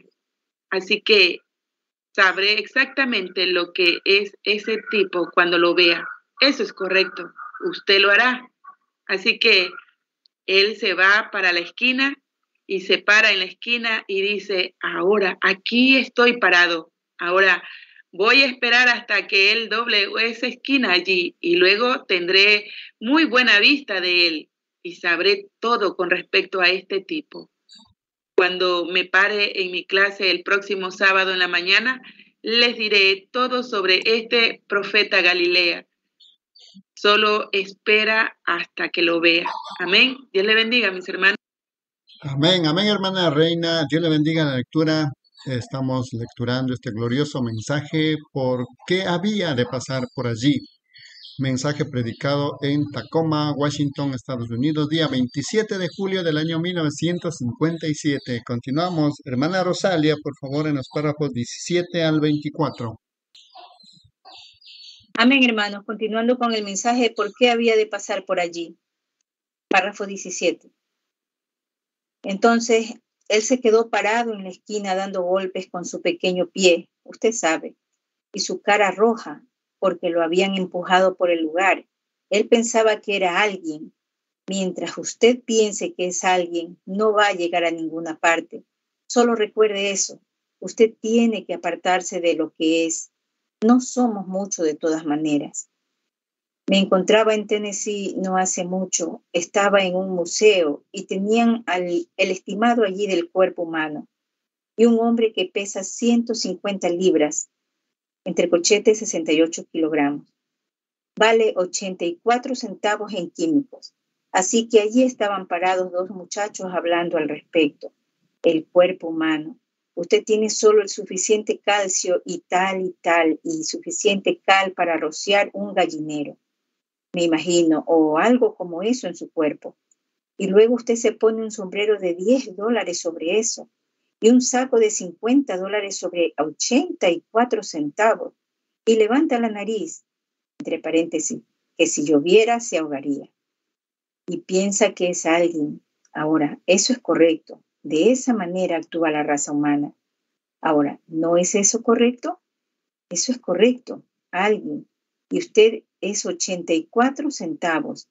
Eso es correcto. Un muchacho le dijo al otro, él dijo, Juan, no valemos mucho después de todo. ¿No es así? 84 centavos. Yo toqué a los muchachos, dije, pero muchachos, ustedes tienen un alma que vale 10 millones de mundos. Cuiden eso. Los 84 centavos no son mucho, pero los 10, 10 mil mundos los, lo significan todo para ustedes. Lucas 19, 3. Párrafo 18. Entonces, mientras este hombrecito se quedó allí, comenzó a pensar, ¿sabes algo? Siendo tan pequeño como lo soy, y si esa misma multitud que estaba allá abajo, si acaso se ha dicho correctamente, un vistazo a él, todos lo siguen después de eso. Eso es correcto. Solo entre una vez en contacto con él. Usted irá a todas partes que él vaya a partir de ese momento. Así que él dijo, si ellos vienen para acá, yo soy tan pequeño, la misma multitud de allá, además de toda la que vaya agregándose de por aquí y van a estar aquí. Así que entonces no estaré mejor parado aquí de lo que estaba parado allá abajo. Luego él comenzó a pensar, ahora, ¿qué puedo hacer? Y si usted está determinado a ver a Jesús, Dios hará un camino para que lo vea. Así que comenzó a pensar, ¿qué podía hacer? Luego a su lado estaba un árbol sicómoro. Pensó, esa es una buena idea, simplemente me subiré al sicómoro. Cuando me suba allá, me conseguiré un buen lugar y me sentaré. Y cuando él pase, estaré solo y lo podré ver muy bien. Párrafo 19. Pero ahora, lo que sigue, ¿cómo se va a subir siendo tan pequeño? Y traía puesta su mejor ropa estaba arreglado de la mejor manera. Pues miren, al mundo le gusta el glamour. Jesús no era glamuroso. Es solo un hombre común y corriente. Y la salvación hoy no es glamorosa. Es solo una sencilla salvación chapada a la antigua para todos los hombres. Él no ha cambiado. Él es el mismo. Pero el mundo piensa que usted tiene que vestirse de tal y tal manera que tiene que usar los mejores modales, que tiene que ser algo, como el congresista Usao. Solía decir, ser algo que usted no es. Y eso es correcto. Hay demasiada farsa entre la gente hoy, tratando de ser algo, tratando de hablar diferente, tratar de algo que usted no es. Luego vivir para ver el día cuando los hombres sean lo que ellos son entonces cada hombre sabrá cómo tomarlo a usted. Dios apresura el día cuando cada hombre que afirma ser un cristiano sea exactamente lo que él es. Si yo fuera, no creyera en Cristo, estaría en contra de él, estaría aquí hablando en contra de él, pero yo creo en él y le amo y estoy a su favor con todo lo que hay en mí, estoy de su lado. Párrafo 20. Entonces Saqueo comenzó a preguntarse cómo lograría ver a este profeta mientras pasara. Y recuerde, En el hogar todo el tiempo en casa estaba Rebeca todavía orando. Oh Dios, de alguna manera abre camino para que Saqueo entre en contacto con este profeta hoy, puesto que él es un buen hombre, es honesto. Y yo creo que si tú le permites en algún momento hacer contacto con este profeta de Galilea, yo creo que él se convertirá en un cristiano devoto. Así que estoy orando, Señor, que tú ayudes a mi querido pobre esposo. Dios sabe que necesitamos hoy más mujeres de esa manera, cuando la feminidad está rota, la columna vertebral de la nación está rota, cuando las mujeres llegan a un punto como lo están nuestras mujeres estadounidenses hoy. Es una desgracia la manera que nuestras mujeres estadounidenses se comportan. Saqué un recorte del periódico que yo creo fue alrededor del 60% de los niños que se fueron al extranjero en esta última guerra. Se divorciaron de sus esposas antes de regresar. Sus esposas se fueron con alguien más de estas plantas de la defensa nacional, trabajando. Ella no tiene ningún negocio en una planta de la defensa. El lugar de una mujer está en casa con sus hijos. Y cuando ella, ahora, si su esposo está enfermo y ella tiene que trabajar, eso es diferente pero el lugar de la mujer está en casa, en la cocina, y cuando deja eso está fuera de su lugar. Exactamente correcto. Párrafo 21. Y cuando las mujeres empiezan a fumar cigarrillos, como lo están haciendo hoy, e incluso mujeres que se hacen llamar a sí mismas cristianas fumando cigarrillos, es la cosa más baja que conozco que una mujer puede hacer, el fumar cigarrillos. Eso es correcto. No tengo que pedir disculpa por ese comentario, porque si este ángel del Señor, si ustedes lo juzgan a él como siendo el Señor, sus probabilidades serán muy pocas cuando venga al tribunal del juicio fumando cigarrillo. Eso es correcto, no tiene caso, y es el más grande sabotaje. Ese es el plan más grande de la quinta columna que tenemos en la tierra. El 80% de las madres dan a luz bebés en los Estados Unidos madres fumadoras de cigarrillos. No pueden criar a sus hijos como debieran al pecho. Les tienen que dar biberón debido a que adquieren el veneno de la nicotina y no llegan a la edad de 18 meses. No es Rusia que va a dañarnos. Nuestras morales mismas no están pudriendo, no se están pudriendo. No es el petirrojo que picotea la manzana lo que daña, es el gusano en el centro. Los Estados Unidos está derrotado por sus propias inmoralidades. Eso es correcto. Y cuando se rompe la maternidad, se rompe la columna vertebral de la nación. Párrafo 22.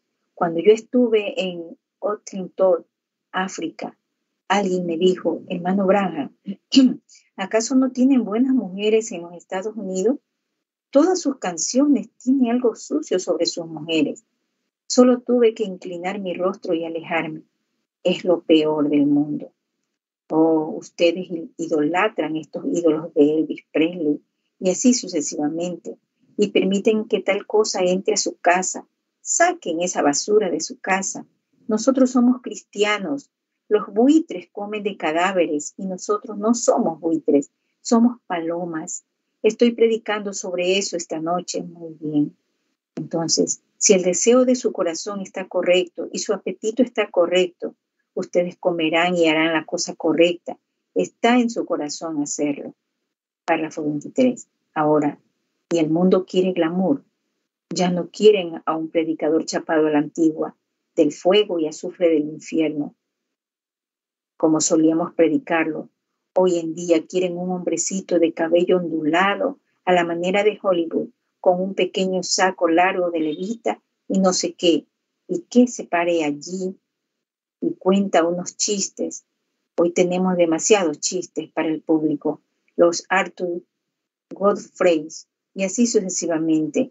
Y estos y todos estos pequeños, lo que los llamen de eso, pero lo que necesitamos hoy es un evangelio chapado a la antigua, en el poder y resurrección de Jesucristo, y una limpieza en la iglesia comenzando desde el púlpito hasta la bodega. Eso es correcto, lo necesitamos, hombres y mujeres. Tenemos demasiado evangelismo de Hollywood, mucha actuación y fingimiento Necesitamos el verdadero y genuino Jesucristo. Amén. Entonces ese clamor no se requiere con Jesús. Toda esa fina vestimenta que él traía puesta, su cabello tan bien arreglado y su manto fino de Egipto, nunca traería la atención de Jesucristo. A él no le importa qué tan pobremente esté usted vestido o de qué otra manera está. Es su corazón lo que él está mirando.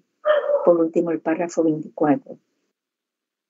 Por tanto, Saqueo pensó, ahora no puedo trepar ese árbol. Si lo hiciera y tuviera que bajar y encontrarme con él, no estaría presentable.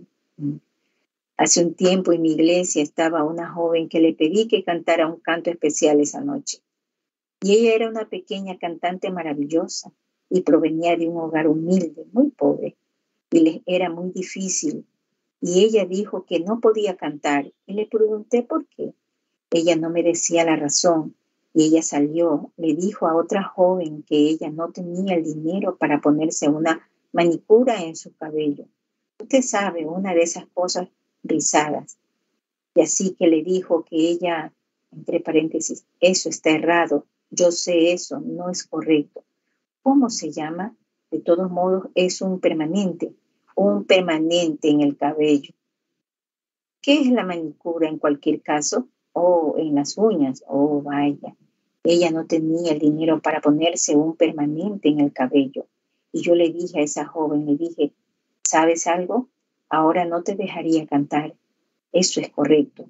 No subes allá para lucirte o para hacer espectáculo delante de esas personas.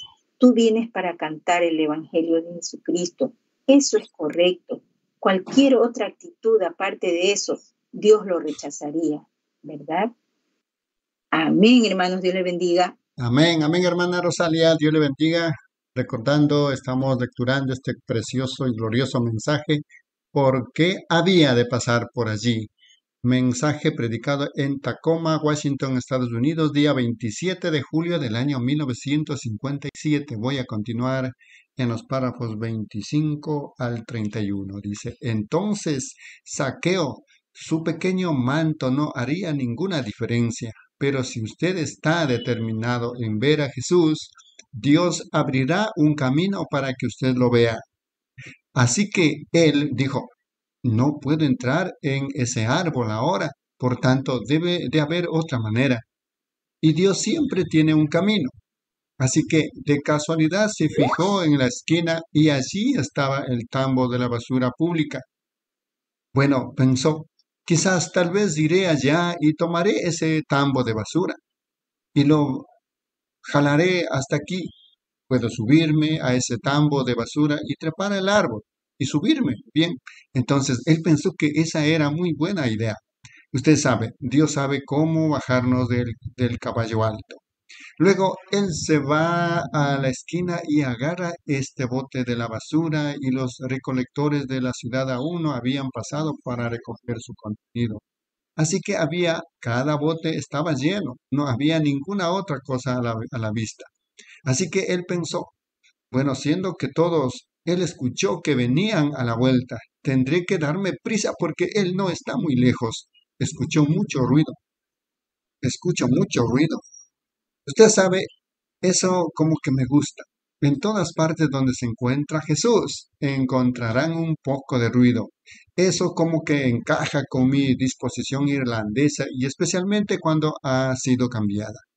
Párrafo 26. Entonces usted sabe en el templo cuando Aarón, el sacerdote, era ungido para entrar al lugar santísimo, tenía una granada en el borde de su vestido y una campana. Y de la única manera que podían saber que no había muerto en la presencia de Dios, que todavía estaba vivo, era el ruido que ese hacía al caminar. Ellos sabían que él todavía estaba vivo. Y pienso que y pienso de las veces cuando escucho un pequeño amén o alabado sea el Señor, que hay una pequeña vida en alguna parte, solo un pequeño ruido de alguna parte. Entonces el pequeño saqueo trató de jalar el bote de la basura y no podía. Luego él dijo, tendré que darme prisa. Luego extiende sus brazos porque él estaba determinado en ver a Jesús ahora y se agarra del bote de la basura con ropa nueva puesta.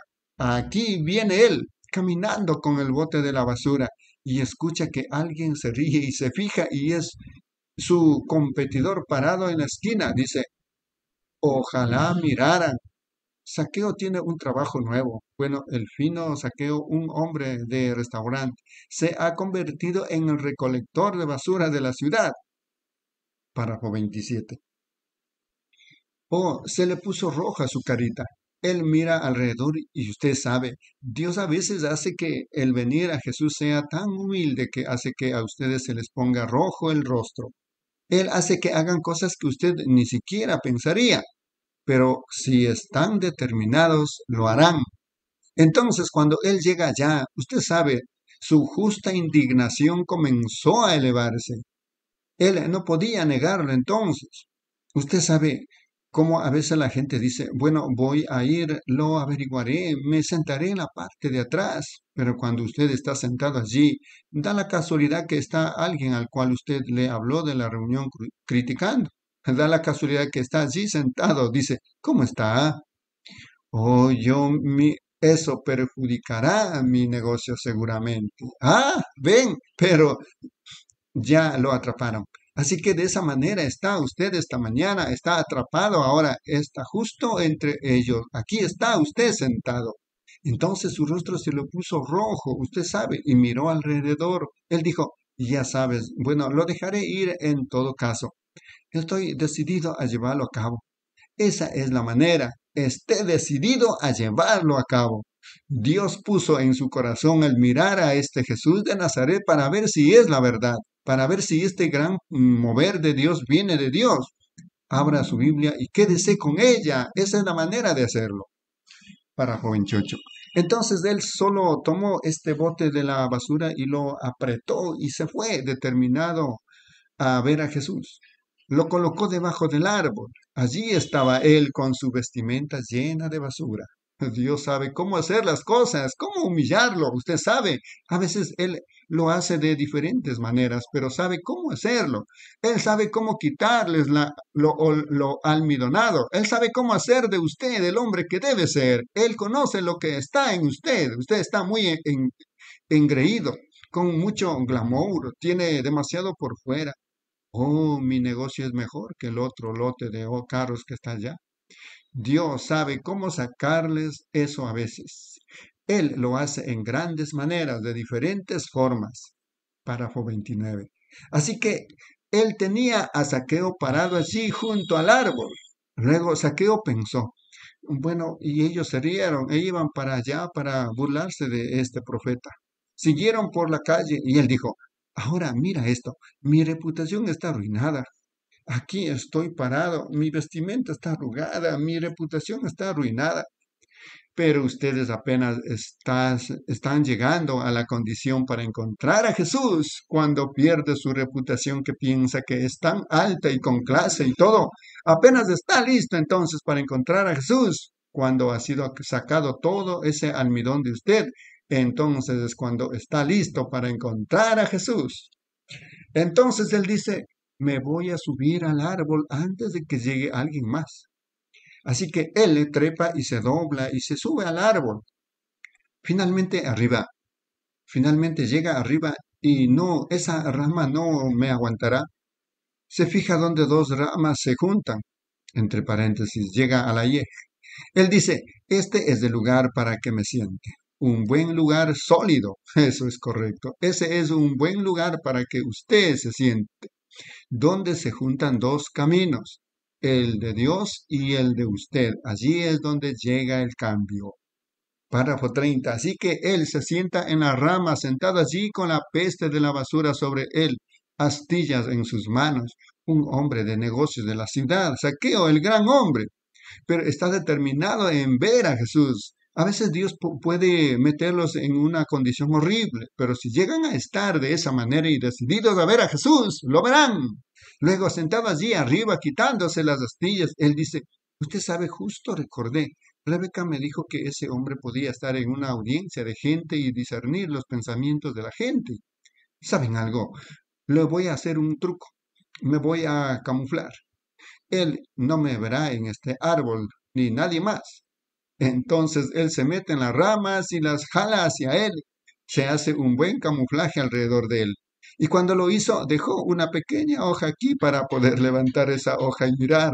Como una pequeña ventana, lo ve, dijo, nadie me verá aquí arriba donde estoy ahora sentado. No se preocupe, Dios sabe en qué percha está usted sentado exactamente. Párrafo 31, por último. Luego él se sentó allí, esperó un rato. El ruido se fue acercando más y más, y después de un rato él dijo, ahora, el diablo estaba sentado allí hablándole. Dijo, ahora, ¿no te ves lindo? uno de los hombres de negocios más sobresalientes de la ciudad. Tú conoces a todos los doctores, has jugado el golf con todas las diferentes sociedades y por el estilo, y aquí estás sentado con basura encima, sentado arriba en, un árbol parado, mirar pasar a ese santo rodador. ¿A qué desgracia has llegado? Bueno, él sintió quitándose las astillas. Después de un rato escuchó un ruido se fijó viniendo por la esquina. Aquí venía un hombre que se miraba grande y fuerte caminando enfrente, un tanto calvo y de espalda y hombros grandes, el apóstol Pedro. Háganse a un lado, amigos. Lo sentimos, el maestro viene en camino esta mañana y ha estado despierto hasta muy noche. Lo sentimos, él no puede hablar eh, con ustedes esta mañana. Amén, hermanos y hermanas, Dios le bendiga. Continuamos con este glorioso mensaje. ¿Por qué había de pasar por allí?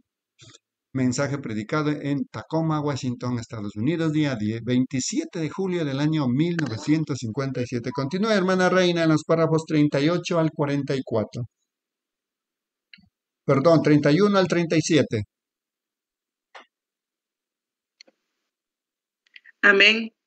Dios le bendiga, hermanos y hermanas. Continuando con la lectura del mensaje, por qué había de pasar por allí, predicado el 27 de julio del año 57. Párrafo 32. Aquí vienen otros 11 al lado. Háganse para atrás, amigos. Sentimos mucho tener que hacer esto. No es nuestra intención ser rudos, pero lo sentimos. El maestro viene hacia esta dirección. Él está muy cansado. Él no es un hombre muy grande después de todo, y es un hombre de baja estatura y él ha estado despierto la mayor parte de la noche y ha estado orando mucho por los enfermos. Y virtud ha salido de él. Lo sentimos mucho, pero tendrán que hacerse a un lado. Y a medida que empuja la multitud hacia atrás, Saqueo levantó su hoja y miró. Él dijo, ahora, ¿no es eso ridículo?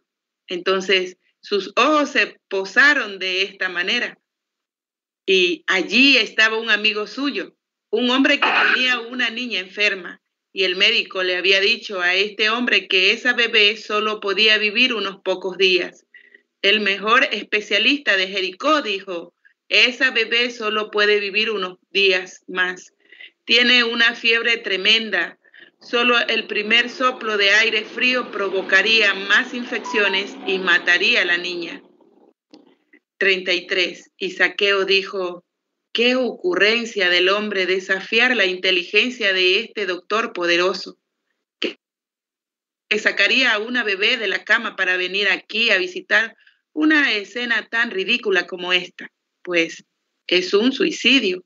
Déjeme decirle, él debería ir al pabellón psiquiátrico, pues es terrible pensar que un hombre estaría así de destrozado, que haría debe ser un neurótico psíquico para sacar a esa bebé de la cama. Cuando un médico le dijo que un poco de aire frío mataría a esa niña. Y aquí tiene a esa niña encantadora aquí abajo y privándola de los próximos dos o tres días de su vida, que podría haberse quedado y está aquí parada para conocer a este fanático. Oh, es ridículo. Y veo a la madrecita sosteniendo la bebé y ella la acaricia y la besa. Y la bebé casi está inconsciente. Y luego dice, papá, tú carga, tú carga la bebé. Trataré de encontrarme con él. Saqueo mirando a través de su hojita, observando, usted sabe, veré qué pasa. 34. Entonces, después de un rato, aquí viene un hombre doblando la esquina No hay hermosura en él para que le deseemos. Pudo haber sido un hombrecito de hombros encorvados. Y mientras él le da vuelta a la esquina, era el profeta de Galilea. Y a la primera vista que Saqueo tuvo, tuvo de él, cambió de opinión. Él dijo, hay algo en ese hombre que es diferente. Amén. Esta pequeña madre se dio prisa y el apóstol grande y fuerte dijo, dama, lo siento. Ella dijo, pero bondadoso Señor, mi pequeña bebé está al borde de la muerte. ¿Por qué no me permites nomás que el maestro toque a la bebé mientras pasa? Bueno, señora, lo siento. Hay otros miles parados aquí de la misma manera. El maestro está muy cansado y agotado. Él va ahora por su comida y no dejaré que lo moleste. 35. Y aquí venía él con su rostro inclinado, caminando callado, manso, y sus pequeños oídos captaron el clamor de esa madre. Él siempre escucha eso. No importa cuán débil sea, Él conoce cada necesidad que usted tiene. No se puede decir ninguna pequeña oración sin que Él no sepa al respecto. Ella lo escuchó a Él, dijo, oh Jehová, sé bondadoso con tu servidor, servidora. Mi bebé se está muriendo. Permite que tu, que tu sierva se acerque. Saqueo dice, veré qué sucede. Y ella se apresura, pasando al apóstol, y cae a los pies del maestro. Dice, Maestro, mi pequeña bebé está muy enferma. Siento molestarte. Tú te ves tan agotado y cansado, pero si solo pones tu mano sobre mi bebé, quedaré satisfecha. Hemos sido expulsados de la iglesia ahora porque trajimos a la bebé. El doctor dijo que nunca regresaríamos si nos mezclábamos con todo esto. Pero, oh, maestro, yo creo que tú eres el Mesías. Creo que tú eres el Hijo del Dios viviente. Es por eso que traje a mi bebé. ¿Podría, ¿Podría él rechazar eso? No, Señor, dijo Pedro, guarda tu paz. Tráeme aquí a la niña. Párrafo 36. Aquí viene el Padre a través de la multitud, mientras todos se quedan mirando. La bebé era bien conocida en la ciudad, y cuando traen a la pequeña bebé allí envuelta en la cobija, el maestro apenas tocó la cobijita donde estaba la bebé acostada, de repente la niñita se levanta y deja escapar un gran grito de gozo y avienta las cobijas y toma su pequeña cuerda y se fue brincando la cuerda. Saqueo dice, debe ser real, solo Dios podría hacer eso. Y mientras ellos se inclinan cortésmente ante el maestro, él sigue adelante por la calle. El corazón de Saqueo latía con fuerza. Pensó, aquí viene él, aquí viene. Ahora, él no podrá verme, pero yo lo veré a él. Entonces, levantaré esta hoja y lo observaré. Él no sabe dónde estoy. Por supuesto, yo soy un hombre de negocios. Él no querrá nada conmigo de todos modos, pero desearía que lo hiciera. Pero ahora estoy escondido, así que lo observaré mientras pasa. 37. Luego él levanta su hoja y comienza a mirar. Jesús caminando a lo largo con su rostro inclinado, se detiene de repente, mira arriba al árbol, dice, saqueo, baja de ese árbol. Hoy voy a ir contigo a tu casa. Amén. Él no solo supo que él estaba allí, supo su nombre. Él conocía su corazón. Él es el mismo ayer, hoy y por los siglos. Saqueo se convenció. Él sabía quién era él, sabía que era el Mesías. Saqueo cayó del árbol. Él dijo, Señor, si en algo he defraudado a alguno, se lo devolveré. Haré cualquier cosa, simplemente haré cualquier cosa Rebeca sabía todo esto, ya tenía preparada la cena para cuando él viniera a su casa. La salvación había llegado a su casa. Amén. Dios le bendiga, mis hermanos. Gloria a Dios. Amén, amén, hermana Reina. Dios le bendiga la lectura. Glorioso mensaje, glorioso tiempo que vivimos. Continuamos con este mensaje. ¿Por qué había de pasar por allí? Mensaje predicado en Tacoma, Washington, Estados Unidos, día 27 de julio del año 1957. Continuamos, hermana Rosalia, en los párrafos 38 al 44. Amén, hermanos. Continuando con el mensaje, ¿por qué había de pasar por allí? Párrafo 38. Tal vez hay un hombre cristiano de negocios o un hombre sentado aquí esta mañana por el que Rebeca ha orado. Usted sabía que él iba a pasar por aquí esta mañana. Él sabe dónde está usted. Él lo ve. No importa cuántas hojas esté levantando. Él sabe dónde está usted. Él sabe exactamente dónde está usted sentado. Él sabe todo al respecto. Me pregunto mientras inclinamos nuestros rostros solo un momento en oración. Padre Dios, escuchamos que tú ibas a pasar por aquí esta mañana. Yo no conozco a estas personas. Tal vez hay un saqueo sentado aquí. No lo sé. Tal vez una querida madre ha orado por su muchacho extraviado. Oh, él ha sido bendecido, verdaderamente. Él es un hombre de negocio. Tiene una familia ahora. La madre ya ha partido, pero sus oraciones todavía son reales. Escuchamos un testimonio hace un rato de un muchacho errante, un padre anciano que predicó el Evangelio. Y oh, tú siempre estás cerca. Párrafo 39. Quizás ese muchacho o jovencita, lo que pudieran ser, han vagado lejos, pero simplemente entraron por la puerta esta mañana. Dijeron, bueno, Escuché que él iba a pasar por aquí. Solo quítales esa hoja, Señor. Esta mañana llámalos por nombre y diles, hijo mío, he venido en respuesta a tu madre o tu esposa o por la oración de tu papá. He venido a recibirte. Voy a regresar a casa contigo esta mañana. Voy a dejar este restaurante New Yorker. Voy a casa, a casa contigo. No solo voy a ir a cenar, voy a ir a quedarme contigo hasta que te traiga de nuevo con mamá y papá.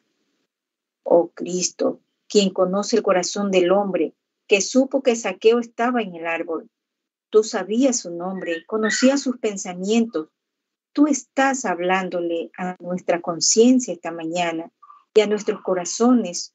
Oramos, Dios, que tú nos reveles nuestros pecados y que ese saqueo descienda amorosamente del árbol en este momento, bajando de la percha más alta, que descienda y se humille a sí mismo a los pies de la cruz para decir, Jesús, yo vengo. Párrafo 40. Mientras tenemos nuestros rostros inclinados, ¿habrá uno aquí esta mañana? Pudieran pensar que esto no es apropiado en un desayuno, pero un saqueo. ¿Está usted aquí, señora saqueo?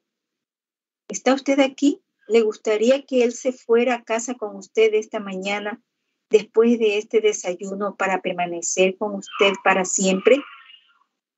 Llevarlo un día salvo sobre el Jordán en sus hermosas alas. Levantaría solo su mano a él y decir, con esto quiero decir que vengo a Cristo. Levantarían la mano ahora mismo, cada rostro inclinado. Solo deje que el Espíritu Santo y yo veamos estas manos. Ven, saqueo, pon. Dios le bendiga, muy bien. Dios le bendiga, Dios le bendiga. Ese es saqueo. Vamos, levanta la hoja. Él está aquí. Ese es él hablándole a usted. Dios le bendiga, Dios le bendiga, hermano, Dios le bendiga. Vamos, saqueo. Él sabe exactamente dónde está usted. Está allí mismo. Párrafo 41. Oh, yo sé que usted ha prosperado, su negocio ha estado muy bien, pero ¿por qué no se lleva a Jesús con usted esta mañana? ¿No le permitirá a Él ir con usted?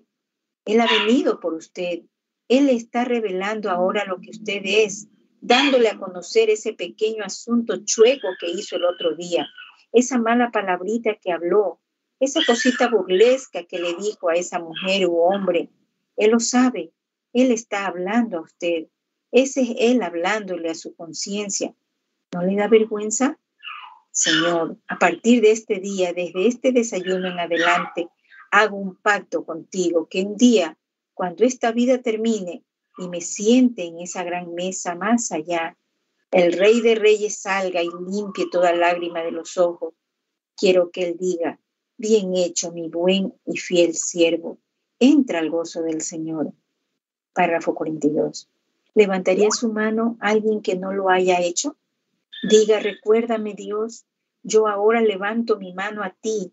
Sé que tú me estás revelando mis faltas y pecados ahora. Tú conoces mi corazón. Quiero que vengas a casa conmigo de, de esta reunión esta mañana y vivas conmigo. Entres a mi oficina de negocio.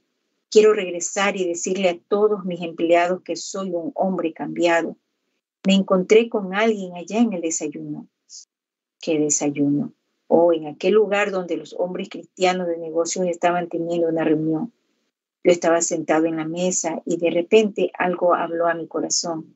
Mis pecados se levantaron como montañas delante de mí. En voz baja susurré, Dios perdóname. Y todo se despejó y paz entró a mi alma turbada. Creo que esta noche descansaré tengo paz como un río. Quiero que ustedes, empleados, sepan que voy a ser un hombre diferente ahora. Párrafo 43.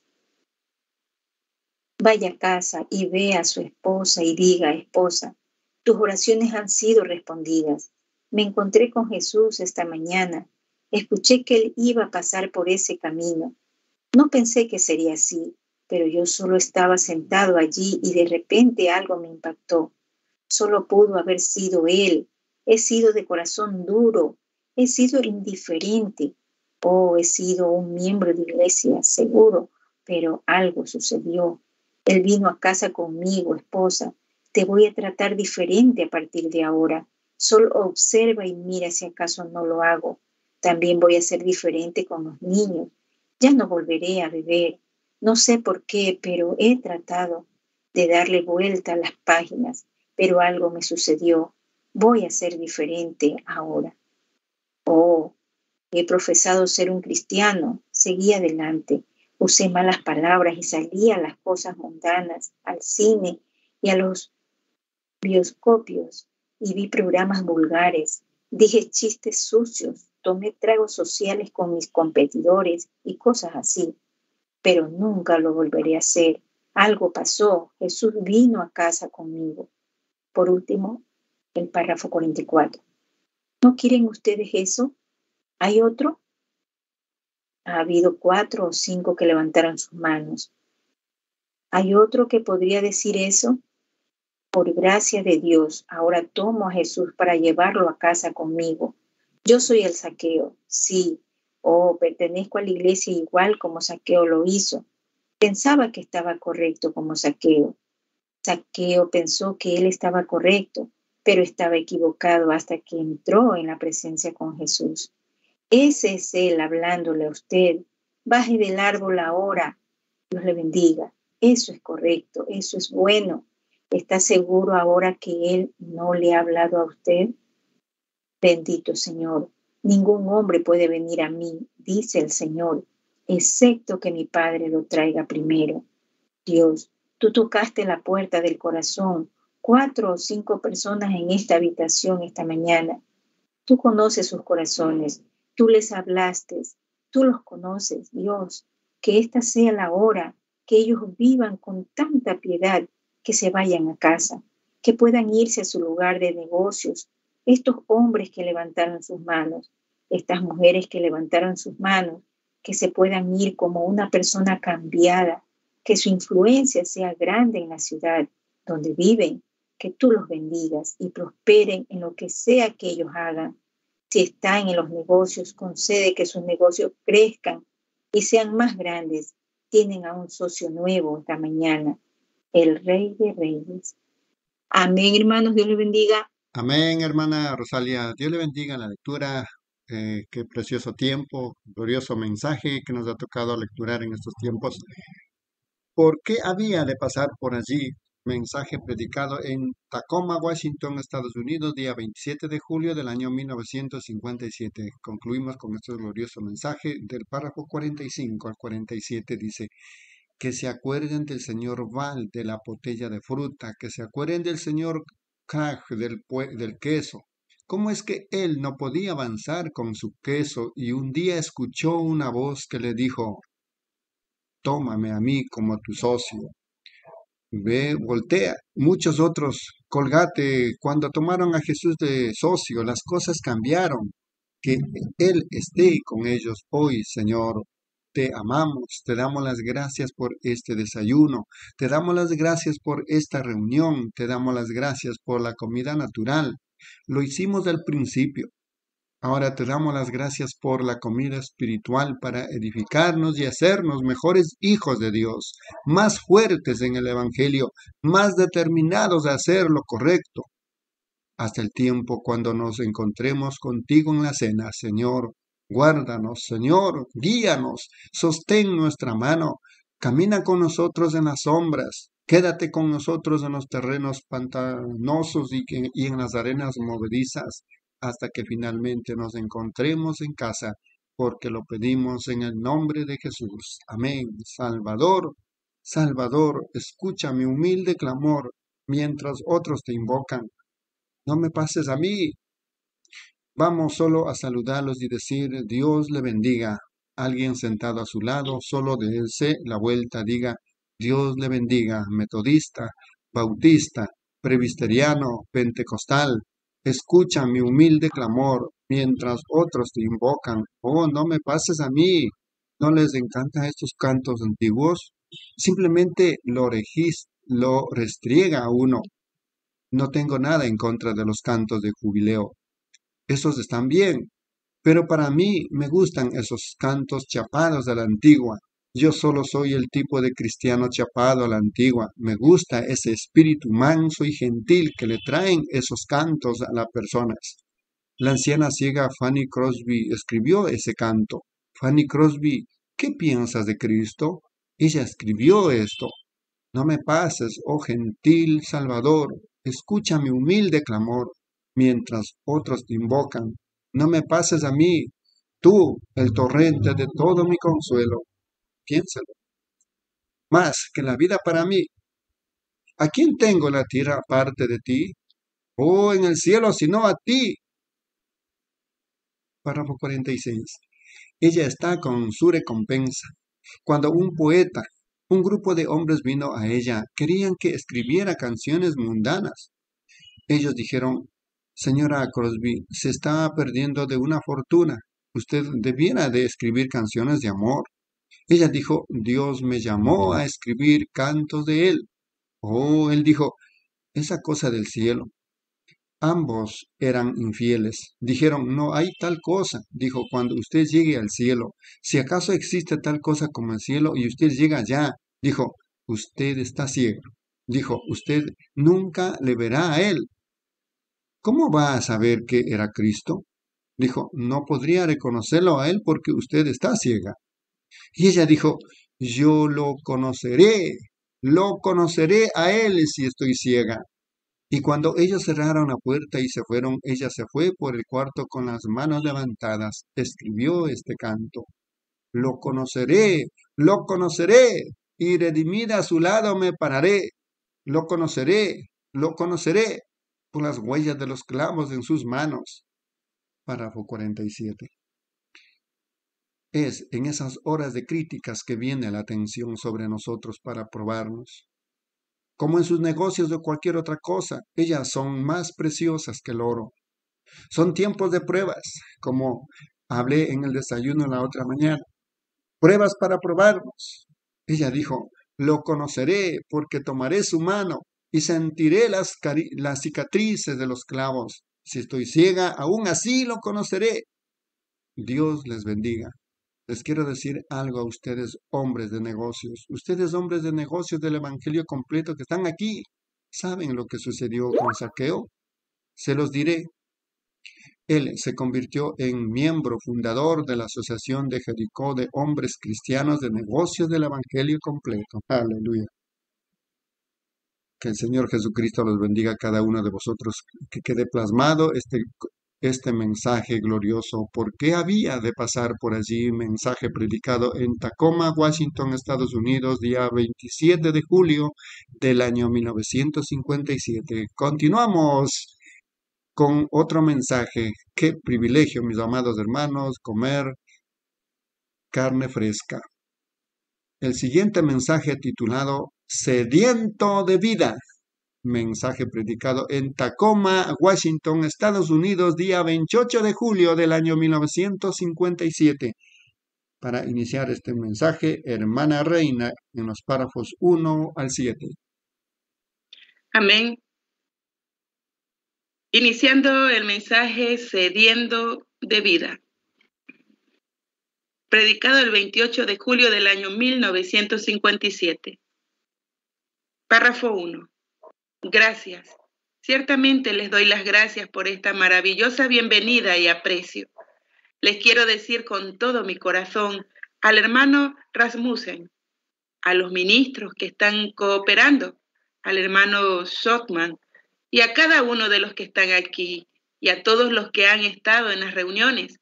Ha sido una de las mejores reuniones que he estado en mucho tiempo, debido a la cooperación que han brindado de corazón y al apoyo de su oración. Y aprecio todo lo que ustedes han aportado con sus finanzas para apoyar la reunión. Y entiendo que han levantado una ofrenda de amor para mí. Todo eso se aprecia con lo mejor de mi habilidad. Lo gastaré para la gloria de Dios. Espero que Dios les retribuya al mil por uno. Dios les bendiga. Pueden tomar asiento. Párrafo 2. Gracias, hermano Rasmussen. Un agradecimiento de corazón a cada uno que está en la reunión, a cada uno que ha participado. Y estoy muy agradecido de esta reunión. Y solamente hay algo triste en ello, y es que solo pudieron ser cinco días. Y lo digo de corazón, desearía poder estar todo un mes aquí y solo poder venir. Párrafo 3. Y ahora si de casualidad se encuentran aquí las personas, el conserje o alguien del grupo que nos permitió tener este auditorio, yo quiero expresarles mi agradecimiento también. Un lugar maravilloso, con una buena acústica. Y como el hermano Rasmussen nos estaba diciendo, lo recibimos a un precio muy razonable.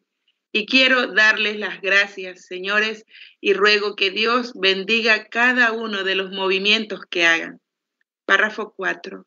Y en esta ocasión yo vengo después de muchos momentos de pruebas para poder llegar a Tacoma.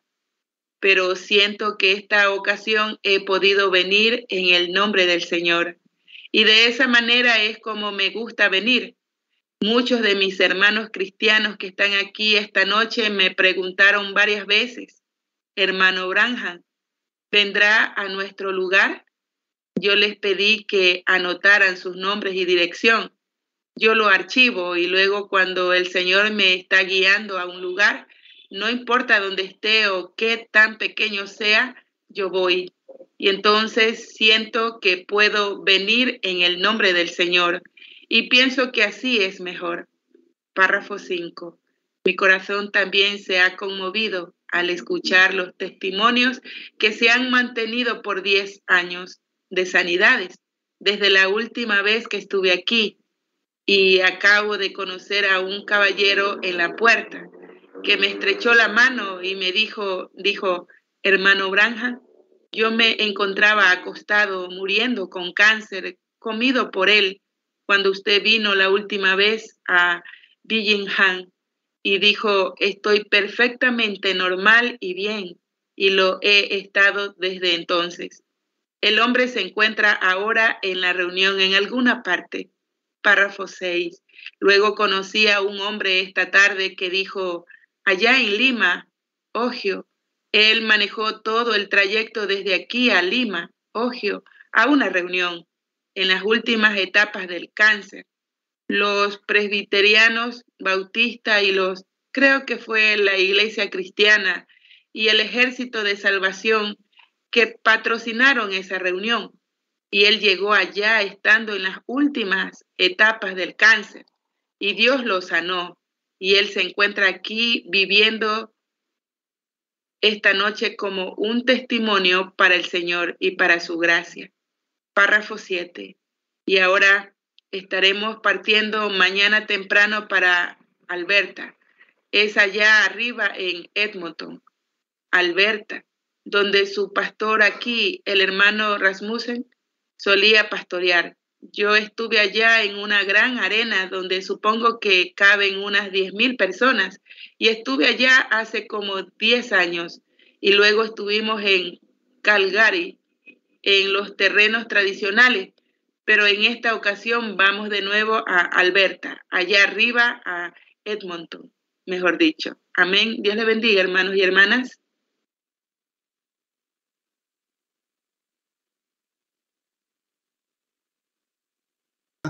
De esta manera hemos concluido con este glorioso mensaje Sediendo de vida, mensaje predicado en Tacoma, Washington, Estados Unidos, día 28 de julio del año 1957.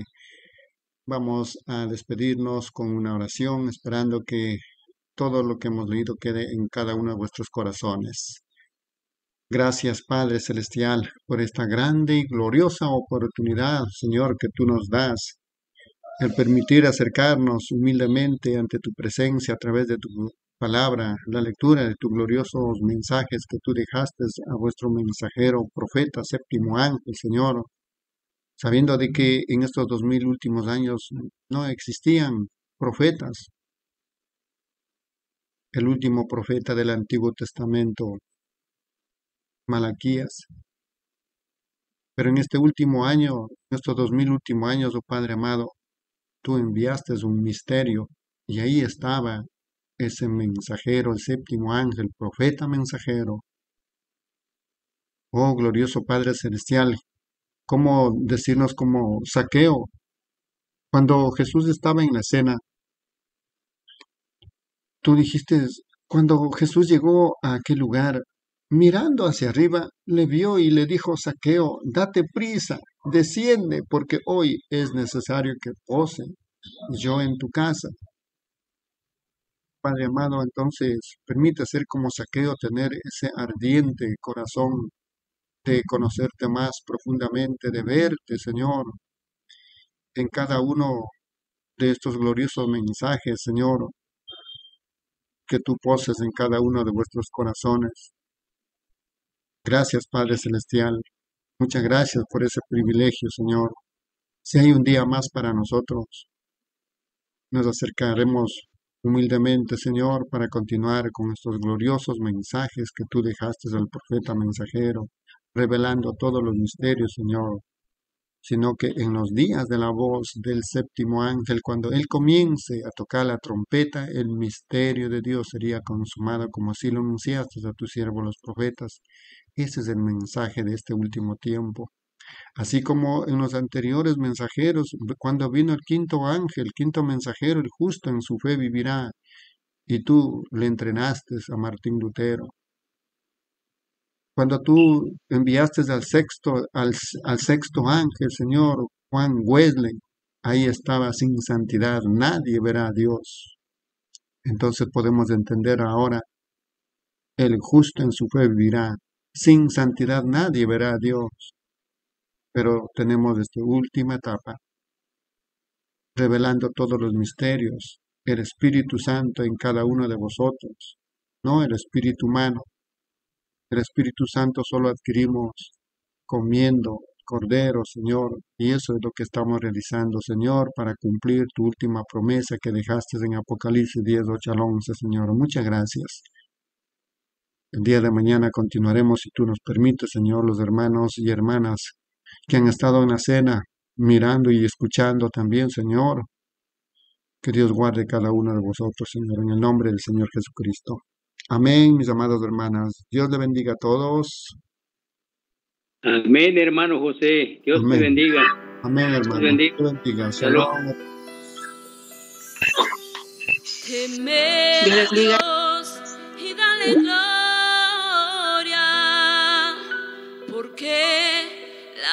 su juicio ha llegado. Adorad aquel que hizo el cielo y la tierra.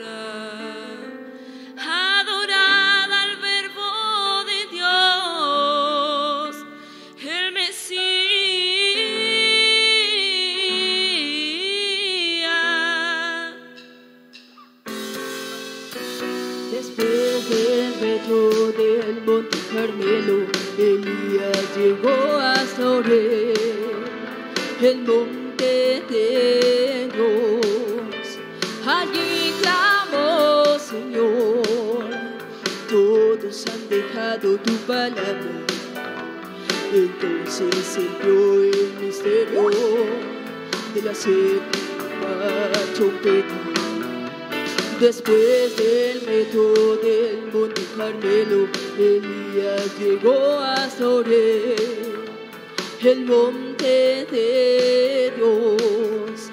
Allí clamó, Señor, todos han dejado tu palabra. Entonces se dio el misterio de la séptima trompeta.